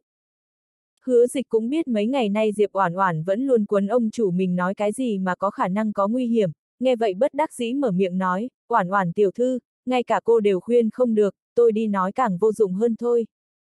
Hứa dịch trấn an xong lại nói, Oản Oản tiểu thư, cô chắc là quá khẩn trương, lộ trình lần này vô cùng an toàn, sẽ không có bất cứ vấn đề gì, cô đi ngủ một giấc thật ngon đi, hoặc là đi xuống lầu đi spa thả lỏng tâm tình một chút, chậm nhất là tối mai chúng ta liền có thể tới nơi cần đến rồi.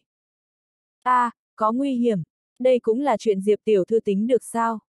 Hứa dịch vừa dứt lời, sau lưng liền truyền tới âm thanh của lưu ảnh. Diệp Oản Oản không có tâm tình cùng hắn tranh chấp, lạnh lùng nhìn hắn một cái rồi nói, phải thì thế nào? Sắc mặt của lưu ảnh có chút khó coi, Diệp tiểu thư, bởi vì cô là người của ông chủ, cho nên tôi luôn kính cô ba phần, nhưng nếu như cô vọng tưởng làm bất kỳ chuyện gì gây tổn hại cùng uy hiếp đến ông chủ thì đừng trách tôi không nói lời cảnh cáo trước với cô. Cô mấy ngày nay một mực nói bậy nói bạ, làm lung lay lòng người, đã tạo cho mọi người ảnh hưởng tồi tệ, xin cô, hãy thận trọng từ lời nói đến việc làm. Audio điện tử võ tấn bền chương 391, Cúc Hòa Tàn Lưu ảnh nói xong câu này liền mặt lạnh vung tay rời đi. Hứa dịch lúng túng đứng tại chỗ muốn giàn xếp tốt đẹp chuyện này liền nói, ưm, lưu ảnh chính là đang nói linh tinh, cô chớ để ý. Diệp Oản Oản không nói gì, dù sao cô cũng sớm có chuẩn bị, cô đã sớm ngờ tới chuyện sẽ không có người tin tưởng cô, cũng biết rõ mình nói những lời đó sẽ khiến người khác thấy thế nào rồi. Đêm khuya, khách sạn quầy rượu ở tầng cao nhất. Liên tục hai ngày đi đường, nhóm vệ sĩ ở trong quán rượu hơi hơi thả lỏng một chút. Một đám người đang uống rượu nói chuyện phiếm. Ai, các anh đều nghe nói chứ. Người phụ nữ kia mấy ngày nay thật là giống như người bệnh thần kinh, vẫn một mực thổi gió bên tai boss, nói boss có kiếp nguy hiểm, khuyên ngăn boss đừng đi về phía trước. Lại còn coi mình là thầy bói thật sự sao? Đệt, cô ta cũng chỉ là người có miệng quạ nên mới có thể đem chuyện của đội trưởng nói chúng. Cô ta còn nói Tống Tĩnh có kiếp đào hoa. Kết quả là đã hai ngày trôi qua, Tống Tĩnh vẫn rất tốt, không phải sao? Tống tính cười lạnh, đội trưởng nói mỹ nhân là hồng nhan họa thủy, thật là một điểm cũng không sai. Một đám người đang nói chuyện, lúc này, đột nhiên có một người ngoại quốc tóc vàng mắt xanh đi tới, đi thẳng tới trước mặt của Tống Tĩnh, ánh mắt sáng lên nhìn chằm chằm ngang hông Tống Tĩnh đang treo một cây đao, nhìn một cái rồi cất giọng tiếng Trung khá lưu loát của mình, oa, wow, nếu như tôi không nhìn lầm, cái thanh đao này là thanh đao nổi danh ở Hoa Quốc sao? Thấy người tới có hiểu biết về văn hóa Trung Hoa, Tống Tĩnh đã có mấy phần cảm tình nói, anh là một người ngoại quốc, còn hiểu cái này sao?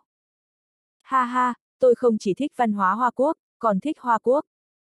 Còn thích cái gì của Hoa Quốc?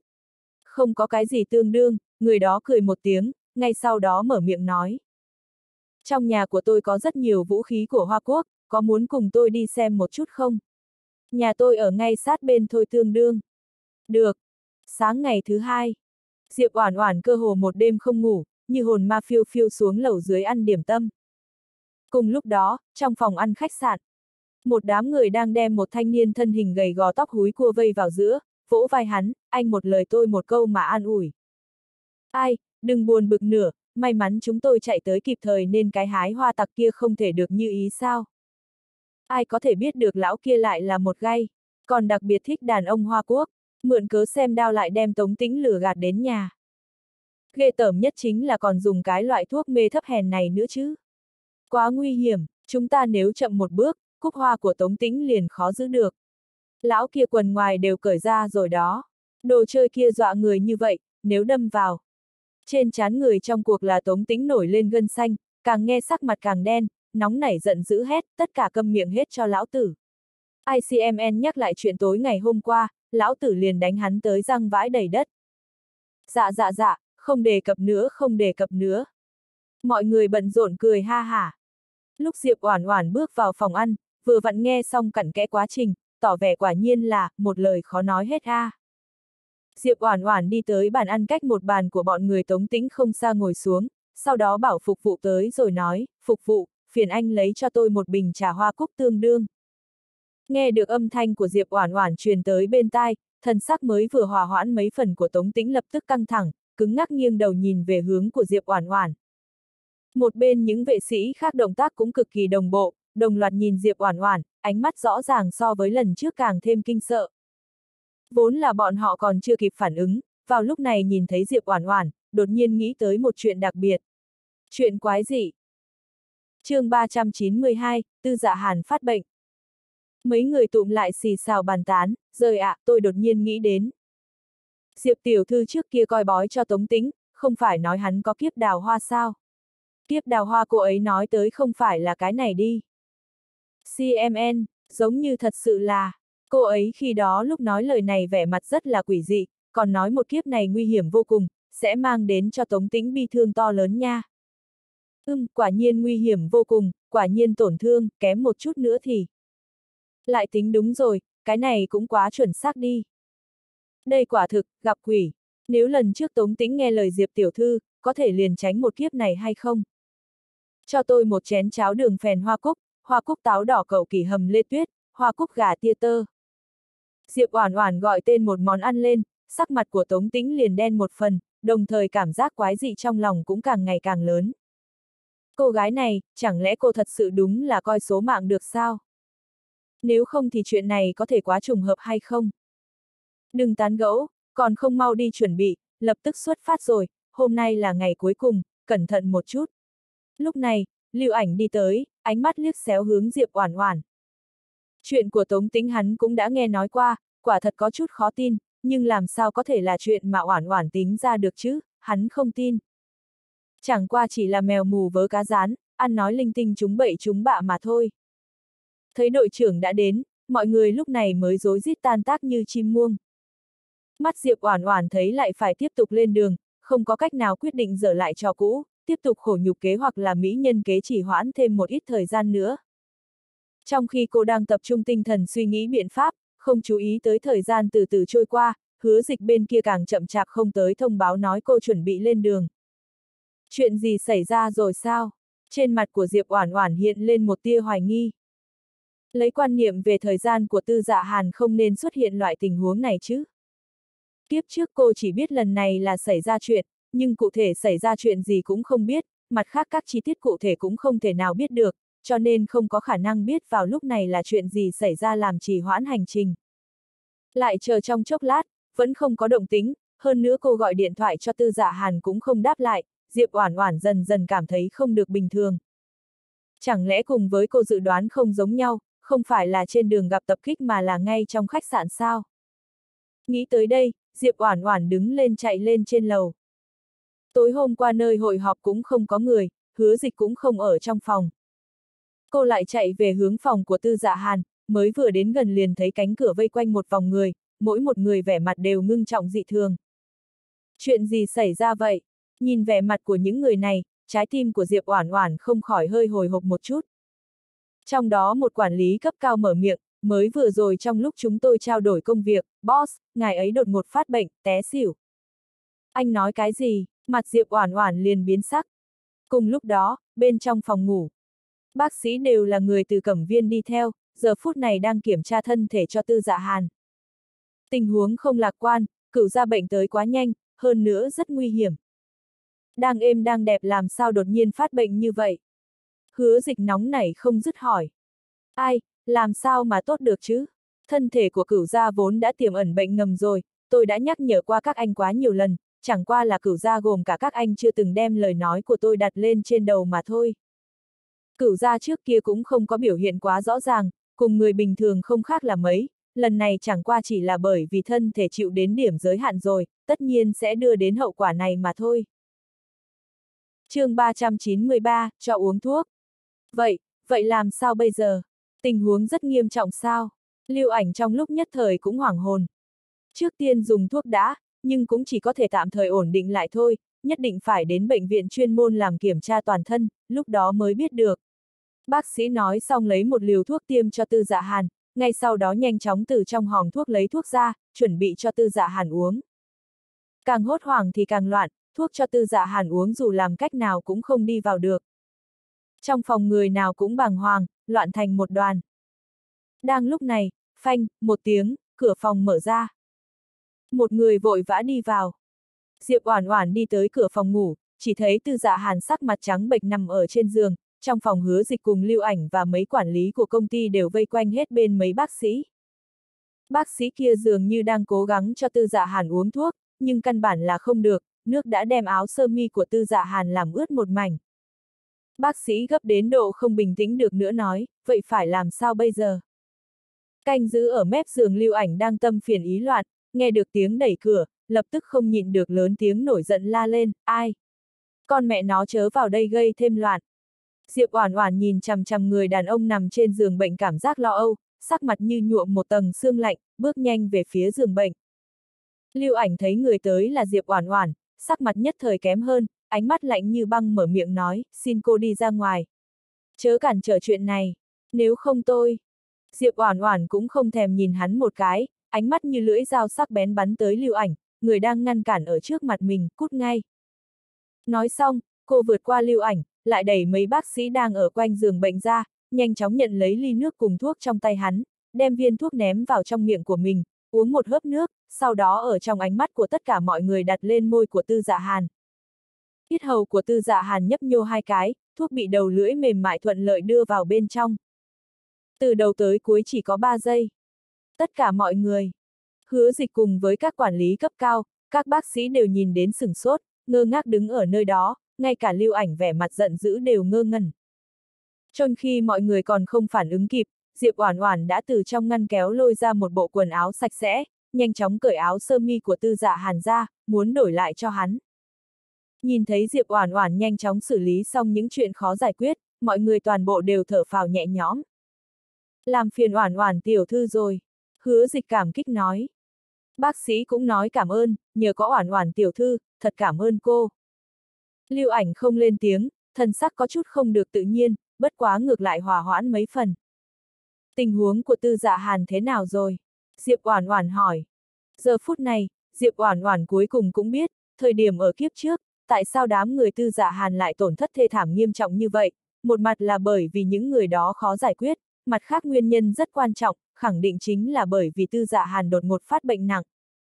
Trước kia cô vẫn đang lo lắng cho tình trạng cơ thể của tư dạ hàn, kết quả chuyện lo lắng nhất vẫn xảy ra. Lấy loại cường độ công tác này cùng lặn lội đường xa, thân thể của tư dạ hàn bị kích thích lớn, không có dấu hiệu nào liền bộc phát. Lúc trước chuyến đi này thân thể của tư dạ hàn còn không nghiêm trọng, thậm chí cũng không có biểu hiện ra ngoài điều gì khác thường, cho nên mặc dù không ít bác sĩ đều đoán thân thể của ông chủ bọn họ nếu mà cứ tiếp tục lượng công việc lớn như vậy nữa nhất định sẽ không chịu được, nhưng hình tượng tư giả hàn ở trong lòng mọi người thật sự là quá hoàn mỹ rồi, giống như thần tiên trên trời không có bất cứ chuyện gì có thể đánh ngã. Cho tới bây giờ, mọi người mới biết, lời của bác sĩ không phải là nói đùa, boss của bọn họ, ông chủ thực sự đã chống đỡ đến cực hạn rồi. chương 394, không thể trêu chọc. Trong lúc nhất thời, tất cả mọi người đều ở đó ngẩn ra, giống như đã mất đi phương hướng trèo lái. Tư tiên sinh nhất định phải mau chóng được kiểm tra toàn diện và cứu chữa, một phút cũng không thể trễ nãi. Sắc mặt của bác sĩ nghiêm túc mở miệng nói. Bệnh viện gần nhất ở nơi nào? Hứa dịch hỏi. Lưu ảnh cắn cắn răng, bên này điều kiện y tế không tốt, sao có thể đem ông chủ đưa đến nơi đó, thân thể của ông chủ là quan trọng nhất, trở về nước đi. Nghe được lời nói của lưu ảnh, trong lúc nhất thời tất cả mọi người đều ngươi nhìn ta, ta nhìn ngươi, rơi vào trầm mặc. Ngày mai sẽ phải đàm phán, bây giờ trở về nước sao? Nhưng nếu như không về nước thì hiện tại tình huống thân thể boss nhà họ ở chỗ này. Diệp Oản Oản nhìn về hướng chân trời ngoài cửa sổ, trong lòng u ám. Trở về nước? Sợ là, không trở về được. Ở nơi này một bên mọi người đang dùng beng bàn bạc đối sách, đột nhiên, có thuộc hạ vẻ mặt vội vã chạy vào. Đội trưởng, không, không xong rồi. Cái gì không xong rồi? Ồn ào cái gì vậy? Lưu ảnh tức giận la lên. Ta, chúng ta bị bao vây. Thuộc hạ mặt đầy hốt hoảng mở miệng. Lưu ảnh hơi hơi đổi sắc mặt, níu lấy cổ áo người kia hỏi, cậu nói cái gì? Cái gì gọi là chúng ta bị bao vây? Một phút đồng hồ trước tôi còn phái người kiểm tra qua chung quanh quán rượu. Coi như bị bao vây, chúng ta cũng sẽ có người báo động trước. Thuộc hạ nuốt nước miếng, nơm nớp lo sợ mở miệng, chúng ta bị bao vây ở toàn bộ trong thành trấn. Bên ngoài thành trấn này đã bị một thế lực hoàn toàn phong tỏa, lai giả bất thiện sắp xảy ra, rõ ràng cho thấy vì chúng ta mà tới. Lưu ảnh nghe vậy, sắc mặt trong nháy mắt xanh mét, một bên hứa dịch cũng là vẻ mặt đại biến, tại sao có thể như vậy?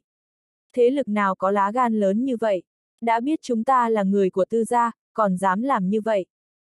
Thuộc hạ sắc mặt tuyệt vọng, lắp bắp mở miệng, thuộc hạ mới vừa đã điều tra rõ, nếu như không lầm, đối phương là, là người của thí huyết minh. Đùa gì thế, trên mặt lưu ảnh cùng hứa dịch đồng thời hiện lên vẻ hoảng sợ kinh khủng. Thí huyết minh được tạo thành từ một nhóm những người hung dữ, cực kỳ ác độc cùng liều mạng của các quốc gia, danh tiếng cực kém, hai phe chính tả đều không muốn trêu chọc. Mà bọn họ cũng không lệ thuộc cùng phụ thuộc vào bất kỳ một tổ chức hay cá nhân nào. Tư gia chưa bao giờ cùng tổ chức này có bất kỳ xung đột nào, vì sao đối phương lại cùng bọn họ đối nghịch? Mục đích là cái gì? Hiện tại tư dạ hàn hôn mê, bọn họ như rắn mất đầu, trong đầu của tất cả mọi người đều loạn thành một đoàn. Diệp Oản Oản canh giữ ở mép giường, kinh ngạc nhìn người yếu ớt đang nằm trên giường bệnh. Cô đã quen bộ dáng kiêu căng cao ngạo của anh, không dính chút bụi trần, thậm chí là bộ dáng chuyên chế tàn nhẫn, nhưng đây vẫn là lần đầu tiên cô nhìn thấy anh trong bộ dáng yếu ớt như vậy. kiếp trước, cô chỉ biết tình trạng cơ thể của tư dạ hàn không ổn, nhưng lại chưa bao giờ tận mắt thấy qua khi anh suy yếu ốm đau.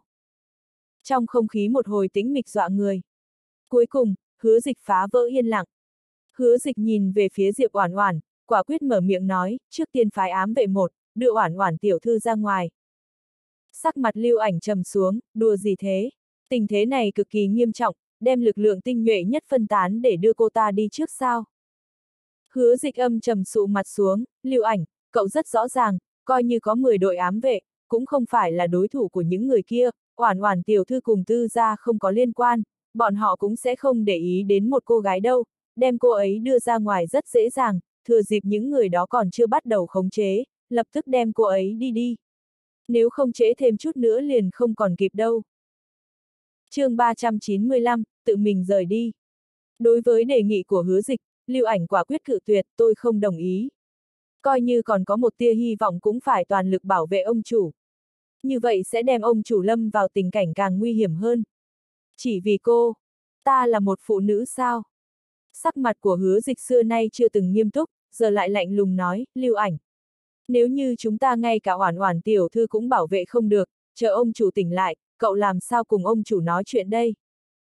Tôi, lưu ảnh cũng rất rõ ràng thái độ của tư dạ hàn đối với Diệp Oản Oản, đối với lời nói của hứa dịch cũng không cách nào phản bác nữa, nhưng hắn lại tuyệt đối không chịu vì Diệp Oản Oản, một cô gái cái gì cũng không tốt như vậy lại hy sinh lớn như thế.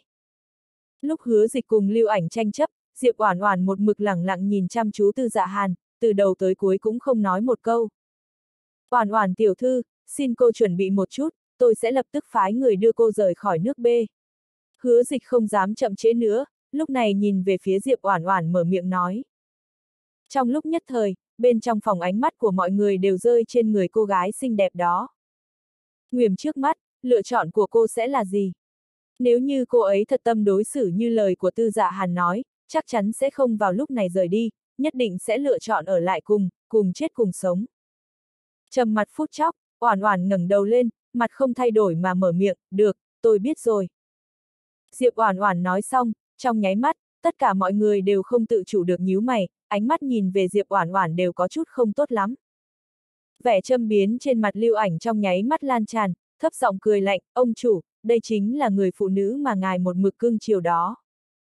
Nguy hiểm trước mắt không chút nghĩ ngợi, do dự cũng không có, lập tức vội vàng muốn tự mình chạy thoát thân. Nếu như là Nhược Hy tiểu thư, tuyệt đối không có khả năng bỏ lại ông chủ đang bị bệnh nặng một mình.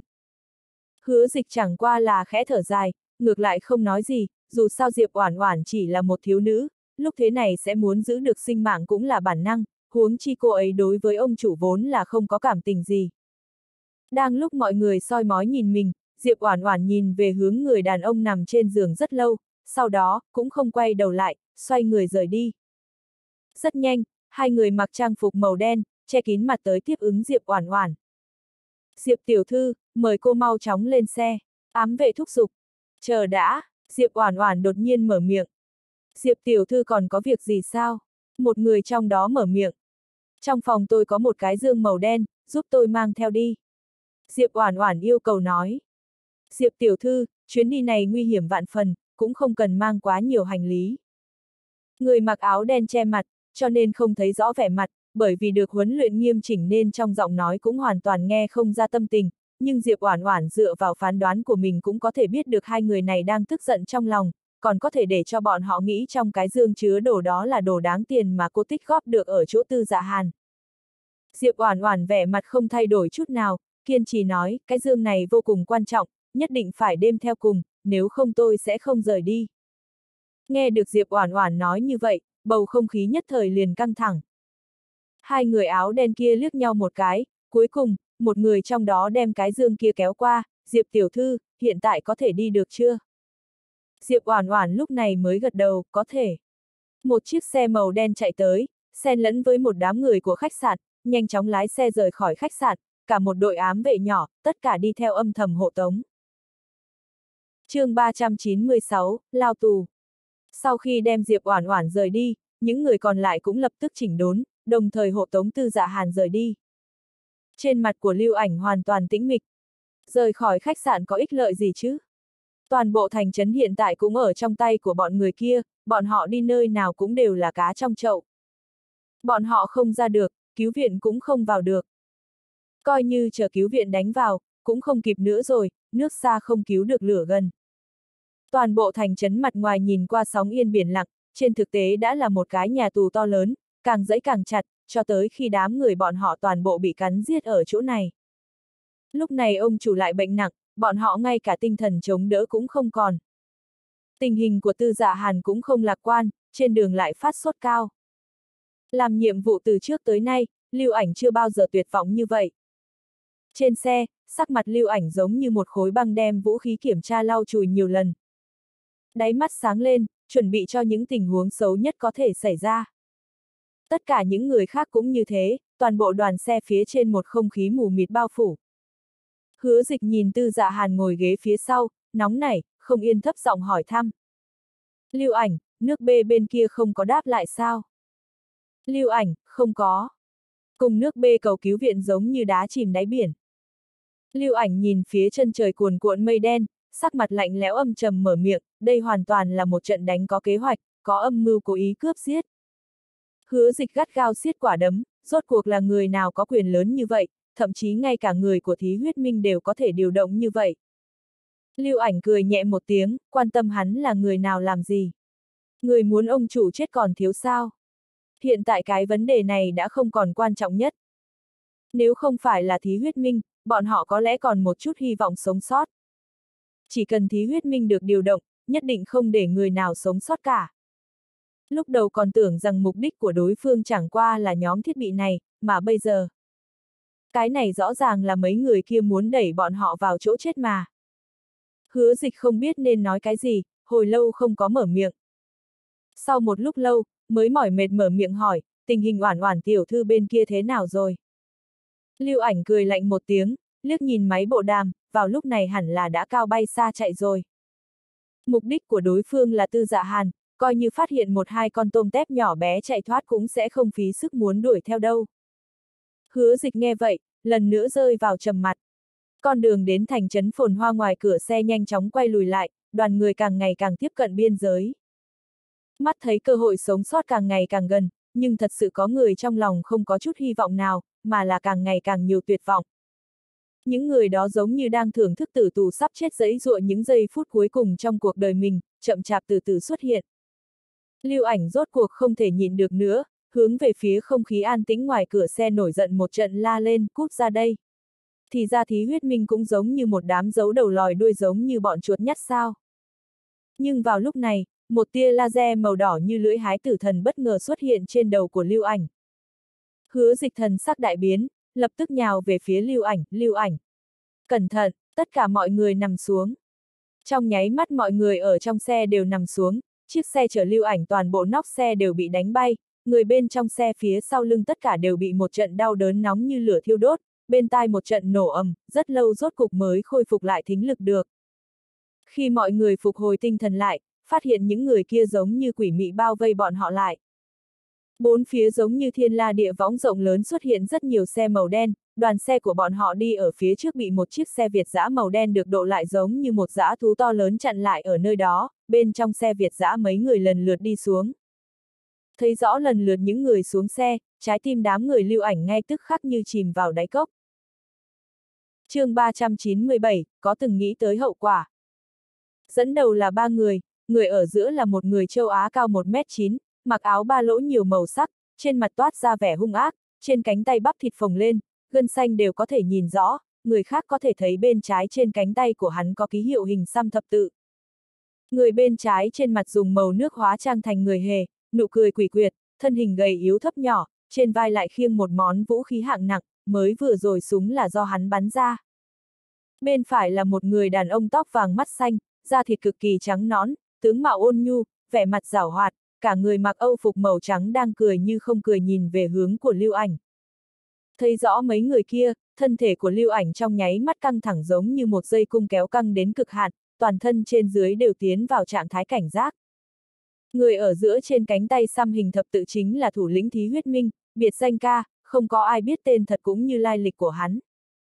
Hai bên trái phải của ca là trợ thủ của hắn, một người là người hề dây sần, người còn lại là trên tay không có lấy bất kỳ vũ khí nào nhưng tóc vàng mắt xanh như hồ ly tên là Eugene, nhìn qua là người có giá trị vũ lực thấp nhất nhưng trên thực tế lại hung tàn nhất đáng sợ.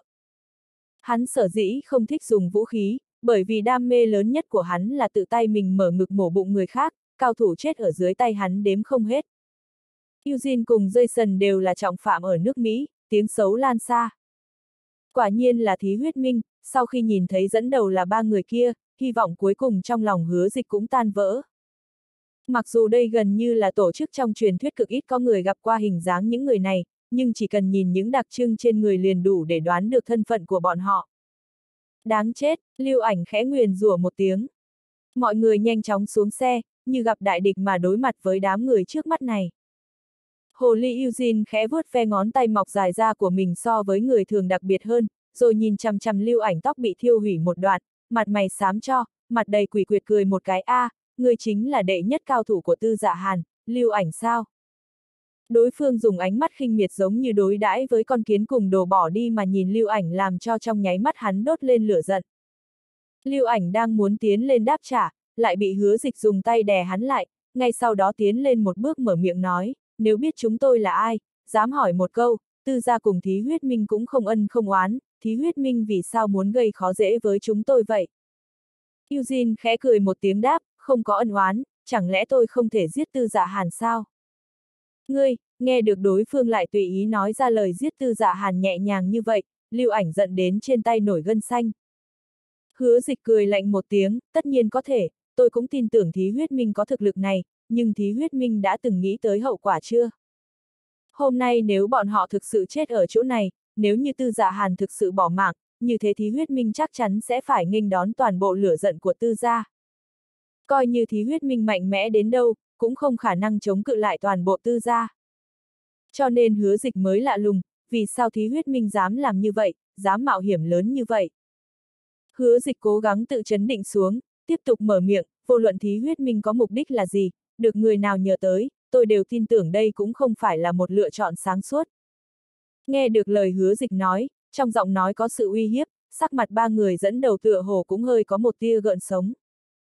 Ngay lúc hứa dịch đang mang trong lòng một chút hy vọng, Eugene đột nhiên nở nụ cười hề hề rồi đáp a, à, nhưng là, làm sao bây giờ đây? Tôi cảm thấy rất thích nhiệm vụ kích thích như vậy đấy. Bên cạnh người hề dây sần cũng tùy tiện cùng cười, thanh âm khàn khàn bén nhọn nói, ta đã không thể chờ đợi được nữa. chương 398, cho anh cái vinh hạnh này. Một bên khác, Diệp Oản Oản đã được đưa đến nơi an toàn. Diệp tiểu thư mời cô lên máy bay. Ám vệ lạnh giọng mở miệng. Diệp Oản Oản mặt không biểu cảm liếc mắt qua hai ám vệ một cái nói, ai nói tôi muốn đi. Một ám vệ khác ngữ khí trầm ổn rốt cuộc hiện ra vài phần không kiên nhẫn đáp lại, Diệp tiểu thư, tình huống hiện rất là nguy hiểm, cho nên cô không cần lấy tính mạng của mình ra nói giỡn. Những người như bọn họ, vốn nên canh giữ ở bên người chủ tử, hiện giờ lại bị phái tới hộ tống một cô gái, nhưng cô gái này lại còn nhiều lần tìm việc riêng bắt bọn họ làm, cho dù được huấn luyện có tổ chức, từ lâu sự nhẫn nại của bọn họ đã tới giới hạn rồi. Diệp Oản Oản không để ý đến lời ám vệ nói, trầm mặc nhanh chóng mở ra cái dương cô vẫn luôn đặt ở trong tầm tay mình. Chỉ thấy trong dương tất cả đều là quần áo.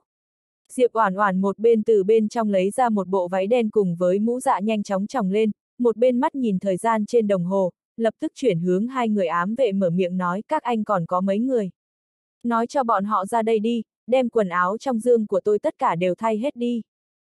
Đã đến lúc nào rồi mà cô ta còn có tâm tư thay quần áo, còn muốn cho bọn họ cũng cùng nhau đổi sao? Cô gái này rốt cuộc có biết mình đang làm cái gì hay không? Ám vệ hít sâu một hơi, Diệp tiểu thư, mời cô.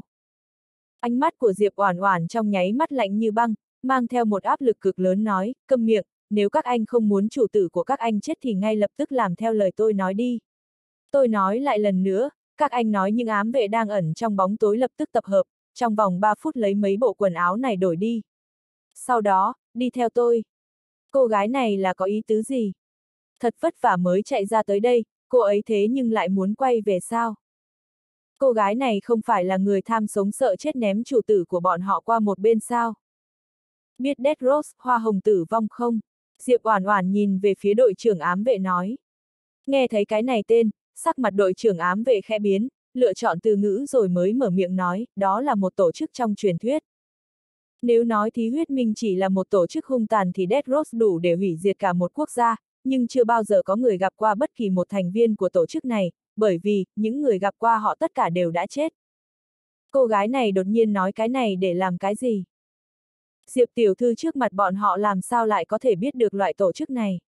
Ngay cả bọn họ đều có rất ít người biết đến tổ chức đó. Diệp Oản Oản đem mũ đội lên, dưới một lớp khăn trùm mặt là khuôn mặt quỷ quyệt mà lạnh băng, trong nháy mắt làm cho người nhìn thấy cô đột nhiên thay đổi rất lớn rồi nói, hiện tại, chúng ta chính là Dead Rose. Cái, cái gì? Ý tứ của cô ấy là, muốn bọn họ giả trang thành Dead Rose sao? Tuy nói Dead Rose có thể là tổ chức duy nhất mà thí huyết minh kiêng kỵ, nhưng người của thí huyết minh lại không phải là ngu ngốc, sao có thể bị loại ngụy trang vụng về này lừa gạt được chứ? Cô dựa vào cái gì muốn để cho thí huyết minh tin tưởng vào loại ngụy trang vụng về này? Đội trưởng ám vệ nhìn không được hỏi ra lời. Ánh mắt Diệp Oản Oản qua tấm khăn che mặt nhìn vẻ mặt của ám vệ đang vô cùng hoài nghi nói, các anh chỉ có thể tin tôi thôi. Nếu không hề chuẩn bị, cô tự nhiên không dám mạo hiểm như vậy, nhưng kiếp trước cô lại nghe được rất nhiều chuyện chi tiết có liên quan với tổ chức Dead Rose thậm chí còn rất nhiều chuyện cơ mật không muốn người khác biết. Cùng lúc đó, hứa dịch cùng lưu ảnh sắc mặt âm trầm hai mắt nhìn nhau, thái độ của đám người này, hoàn toàn là yên tâm không có điều gì không tốt xảy ra với mình, chẳng lẽ bọn họ đã có chỗ dựa vững chắc sau lưng sao? Người nãy giờ vẫn chưa mở miệng nói chuyện thủ lĩnh ca đốt một điếu thuốc, không nhịn được phất phất tay tốc chiến tốc thắng. Lão tử lát nữa còn có việc. Trong nháy mắt ca nói xong, đối diện là đám người lưu ảnh thần kinh nhất thời tất cả đều căng thẳng lên, có người tiến vào trạng thái chuẩn bị chiến đấu. Bên cạnh Eugene nghe vậy có chút bất mãn mở miệng nói ca, đừng như vậy, thật vất vả có đồ chơi thú vị như vậy, để cho tôi chơi thêm nhiều một chút nữa đi tương đương ca nếu là có chuyện, chờ lát nữa có thể đi trước. Ca bấm khói thuốc hơi nhíu mày, đừng gây chuyện. Nhiệm vụ lần này cũng không quá thoải mái, những người thuộc hạ này của tư dạ hàn cũng không phải là dễ đối phó. Eugene tự nhiên biết ca đang lo âu, lại bật cười một tiếng, ca từ nào thì trở nên nhát gan như vậy. Đây chi là một đám cá trong chậu thôi, chẳng lẽ anh sợ bọn hắn chạy thoát sao? Ca lạnh nhạt liếc hắn một cái, cho cậu nửa giờ. Ok. Eugene mặc dù còn không hài lòng, nhưng cũng không dám thực sự chọc giận ca, bất đắc dĩ đáp ứng. Con người màu xanh biếc của Eugene tản ra ánh sáng lạnh lẽo quỷ quyệt, đầu lưỡi đỏ thắm vô cùng khát khao liếm láp ngón tay của mình, trong con ngươi như không thể chờ đợi tràn đầy khát máu cùng giết chóc, đồng thời ánh mắt quét về hướng dám người lưu ảnh ở phía đối diện, thế nào, mấy người có hứng thú hay không, cùng tôi chơi trò chơi nào. Hứa dịch một bên rất bình tĩnh để cho người đến bảo vệ chiếc xe ở giữa đoàn xe, chuẩn bị cho người đưa ông chủ đi trước, vừa lên tiếng nói, mời anh nói. Nếu như có thể kéo dài thêm một chút thời gian cũng tốt. Mặc dù hiện tại dưới tình huống này, coi như là có thể kéo dài được thời gian cũng không có bất cứ tác dụng lớn gì cả. Mới vừa rồi, hắn nhận được tin tức, bọn họ cùng bên ngoài hết thảy liên lạc đều bị cắt đứt, tất cả thiết bị thông tin tựa hồ bị đối phương dùng thủ đoạn đặc biệt che giấu. Đúng như lời Eugene từng nói, bọn họ hiện tại quả thật chính là một bầy cá nằm trong chậu, mặc cho đối phương tùy ý chém giết. Nghe nói thuộc hạ của tư dạ hàn nhiều người tài giỏi, cho nên tôi rất muốn tự mình mở mang kiến thức một chút, các người, chỉ cần bất luận kẻ nào có thể đánh bại tôi, như thế tôi liền cố hết sức để các người chết toàn thây.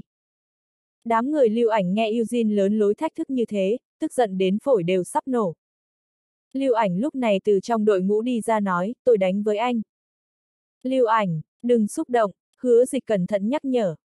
Eugene thực lực sâu không lường được, am hiểu nhất chính là đánh cận chiến, đôi tay kia so với vũ khí sắc bén còn đáng sợ hơn, coi như là lưu ảnh, chỉ sợ cũng. Ánh mắt của lưu ảnh khóa chặt trên người đàn ông kia, không chút nào lung lay. Hắn dù sao cũng đội trưởng, là người ông chủ người tín nhiệm nhất, làm sao có thể ở thời điểm này lùi bước được. Lưu ảnh không để ý đến hứa dịch ngăn cản, thân hình như mũi tên nhọn hướng về Eugene xông tới. Một chiêu, hai chiêu, ba chiêu, veo, một tiếng, gò má của Eugene bị nắm tay của lưu ảnh đánh qua, lưu lại một vết máu.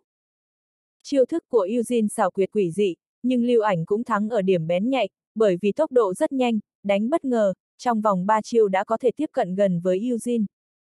Eugene vẻ mặt ngẩn ra, tựa hồ là không cách nào tin tưởng, chậm rãi đưa tay ra, tại trên mặt mình sờ một cái. Hắn đem chút máu trong tay mình sờ được, toàn bộ liếm vào trong bụng, một chút kinh ngạc trên mặt hóa thành hưng phấn cùng hứng thú, thú vị, không hổ là thuộc hạ đệ nhất cao thủ của tư dạ hàn, ha ha ha, thật sự là rất thú vị rồi, tôi quyết định, cho anh cái vinh hạnh này, làm búp bê để hưởng sự âu yếm của tôi, được không nào? Ngoặc kép chương 399, đường cùng. Một trong những sở thích biến thái của Eugene chính là đem cao thủ hắn để ý móc sạch ruột gan sau đó đặc biệt dùng thuốc ngâm làm thành con rối hình người, trở thành chiến lợi phẩm được trưng bày ở trong nhà, khiến cho người khác rợn cả tóc gáy. Vậy thì để tôi nhìn một chút xem anh có bản lãnh này hay không. Lưu ảnh cười lạnh một tiếng, liền tấn công tới. Lần này Eugene có phòng bị nên lưu ảnh không có cơ hội để lại đến gần người hắn như lúc nãy, trong lúc nhất thời, hai người rằng co không nghỉ. Mặc dù hai người tạm thời không phân biệt cao thấp, nhưng hứa dịch lại không chút nào buông lỏng, ngược lại sắc mặt càng ngày càng trầm. Tên Eugene này quá giảo hoạt, hắn nhìn thấu được sở trường của lưu ảnh là tốc độ, cho nên liền cố ý kéo dài cuộc chiến muốn làm tiêu hao thể lực của lưu ảnh. Lưu ảnh cũng đã nhìn ra, nhưng giờ phút này hoàn toàn không cách nào thoát thân được, chỉ cần hơi vừa phân tâm một chút liền có thể mất mạng, những người khác tất cả cũng đều không dám thở mạnh, rất sợ ảnh hưởng đến hắn. Trong nháy mắt nửa tiếng đồng hồ trôi qua, người hề mặt đầy khó chịu thúc giục, hừ. Thật chậm chạp, Eugene, nếu như anh không được, vậy để lão tử tới. Câm miệng. Eugene trầm giọng la lên một tiếng, lần nữa nhìn về phía lưu ảnh, ánh mắt dần dần nghiêm túc. Tiểu tử này, đúng là có chút bản lãnh, lại có thể để cho hắn tiêu tốn nhiều thời gian như vậy. Thời gian từ từ trôi qua. Con người Eugene đột nhiên sáng lên, ha, tìm được rồi. Không được. Hứa dịch đang muốn mở miệng nhắc nhở, nhưng đã không còn kịp rồi, Eugene đã phát hiện ra sơ hở của lưu ảnh, ngón tay so với lưỡi dao sắc bén còn đáng sợ hơn, phốc, một tiếng cắm vào bụng của lưu ảnh, sau đó lại nhanh chóng rút ra. Do bị đụng đến nội tạng nên lưu ảnh chợt phun ra một ngụm máu tươi, sắc mặt trắng bệch. Ngón tay của Eugene nhuộm đầy máu tươi, máu tí tách chảy xuống, đầu lưỡi đưa ra ngoài như muốn thưởng thức mỹ vị, từng chút từng chút một thưởng thức máu của lưu ảnh. Một đòn này thật sự là quá nặng, thân hình của lưu ảnh trong nháy mắt không trụ nổi nữa liền ngã xuống. Lưu ảnh, hứa dịch nhanh chóng xông lên đỡ lấy hắn. Đội trưởng, những người khác tất cả cũng đều vây lại. Những người này rốt cuộc là loại người biến thái gì đây, thậm chí ngay cả lưu ảnh cũng bị bại ở trong tay hắn. Nhìn thấy vết thương trên người lưu ảnh cực kỳ đáng sợ, Tống Tĩnh giận đến vành mắt đỏ lên, hét lớn một tiếng rồi từ trong nhóm người đi ra. Tên biến thái chết tiệt kia, ông đánh với ngươi. Tống Tĩnh, trở lại, cậu không phải là đối thủ của hắn. Lưu ảnh nghiêm nghị trách mắng. Đội trưởng, dù sao cũng là chết, tôi nhất định báo thù cho đội trưởng. Nói xong lại nhẹ giọng lại nói, coi như tôi chết, ít nhất cũng có thể biết được lai lịch của hắn. Lưu ảnh không kịp ngăn cản, Tống Tĩnh nói xong đã xông tới. Thấy sự tình đã đến nước này, hứa dịch chỉ có thể tự an ủi mình, trong đám hộ vệ, thân thủ của Tống Tĩnh là tốt nhất, năng lực cũng cao nhất, nói không chừng thật sự có thể dò xét ra sơ hở của đối phương. Trong những người này người khó giải quyết nhất chính là Eugene, nếu như có thể có cơ hội giết hắn thì cơ hội sống của bọn họ sẽ cao hơn. Tống tĩnh mắt nhìn thẳng về phía trước đi tới, nhìn về phía người đối diện giận đến tái mặt, mở miệng nói, mời. Ai nha, lại một con cá nhỏ tới nữa à tương đương dường như so với tên kia còn yếu hơn. Nhưng không sao, có chút ý tứ, miễn cưỡng cùng ngươi vui đùa một chút cũng được. Eugene nhìn chằm chằm anh ta, thân thể hưng phấn co rút một cái, ánh mắt như đang hưởng thụ một bữa tiệc, hắn ta vặn vẹo cổ mình, giây tiếp theo, thân hình như tia chớp xông tới. Ánh mắt tống tính sáng lên cũng dứt khoát nghênh đón. Nhìn thấy hai người bắt đầu đấu với nhau, trái tim của mọi người đều nhắc tới cổ họng chương 400, âm thanh đột nhiên xuất hiện. Người hề dây sần cùng những người khác của thí huyết minh vẫn đứng ở nơi đó, từng người từng người cười tương đối vui vẻ tạo ra khung cảnh thật quỷ dị, làm cho đám người bên phía tư dạ hàn càng lúc càng bất an. Nhìn thấy cảnh hai người kia đang đấu với nhau, người hề bộ dạng đồng tình nói, chật chật, thật là ngây thơ, lại muốn tìm sơ hở của Eugene. Trong nháy mắt, Tống Tĩnh cùng Eugene đã đánh trên trăm chiêu. Ác như cổ đại nhể. Nhưng mà, trong lòng lưu ảnh lại không có chút nào gọi là vui mừng, ngược lại sắc mặt ngày càng tái nhợt. Cái tên biến thái kia từ đầu tới cuối như đang dùng cách đùa bỡn một con chuột mà vần tống tính, giống như hắn chỉ muốn chơi đùa mà thôi, ngón tay bén nhọn như sắt qua mỗi một chiêu liền lưu lại một vết thương trên người tống tính. Mỗi vết thương cơ hồ đều muốn xuyên thấu da thịt, cắm sâu vào da thịt, tuy không nguy hiểm đến tính mạng, nhưng lại làm cho tống tính đau đớn vạn phần, sống không bằng chết.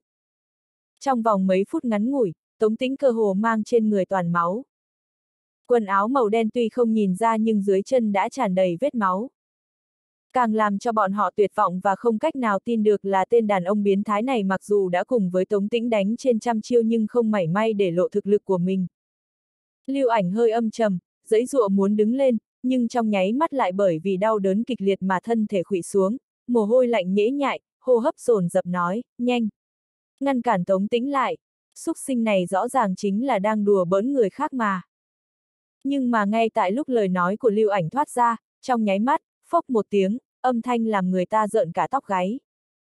Bụng của Tống Tĩnh không kịp phòng bị lại bị tay của Eugene như dao cắm vào, đau đến cơ hồ muốn bất tỉnh, nhưng rất nhanh lại ngồi dậy, mặc cho máu đang không ngừng chảy xuống, loạn choạng mà xông tới. Nhưng mà, giờ phút này Tống Tĩnh như cung dương hết đà, mới vừa có hành động, đối phương lại dở lại trò cũ hướng về bụng của hắn mà tấn công tới. Đủ rồi, lưu ảnh hai tay nắm thành quả đấm cơ hồ muốn bóp vỡ người trước mặt, hai mắt nhớm màu đỏ tươi. Những đồng đội khác toàn bộ mắt cũng đều đỏ lên, gào thét muốn xông lên.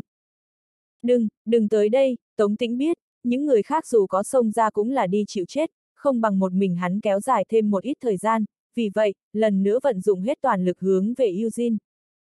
Eugene lần này không còn dùng chiêu mèo vờn chuột mà đùa giỡn với hắn nữa, từng chiêu đều thể hiện rõ sự khát máu kinh người, trên người của Tống Tĩnh vốn đã thương tích đầy mình nay không còn chỗ nào nguyên vẹn nữa.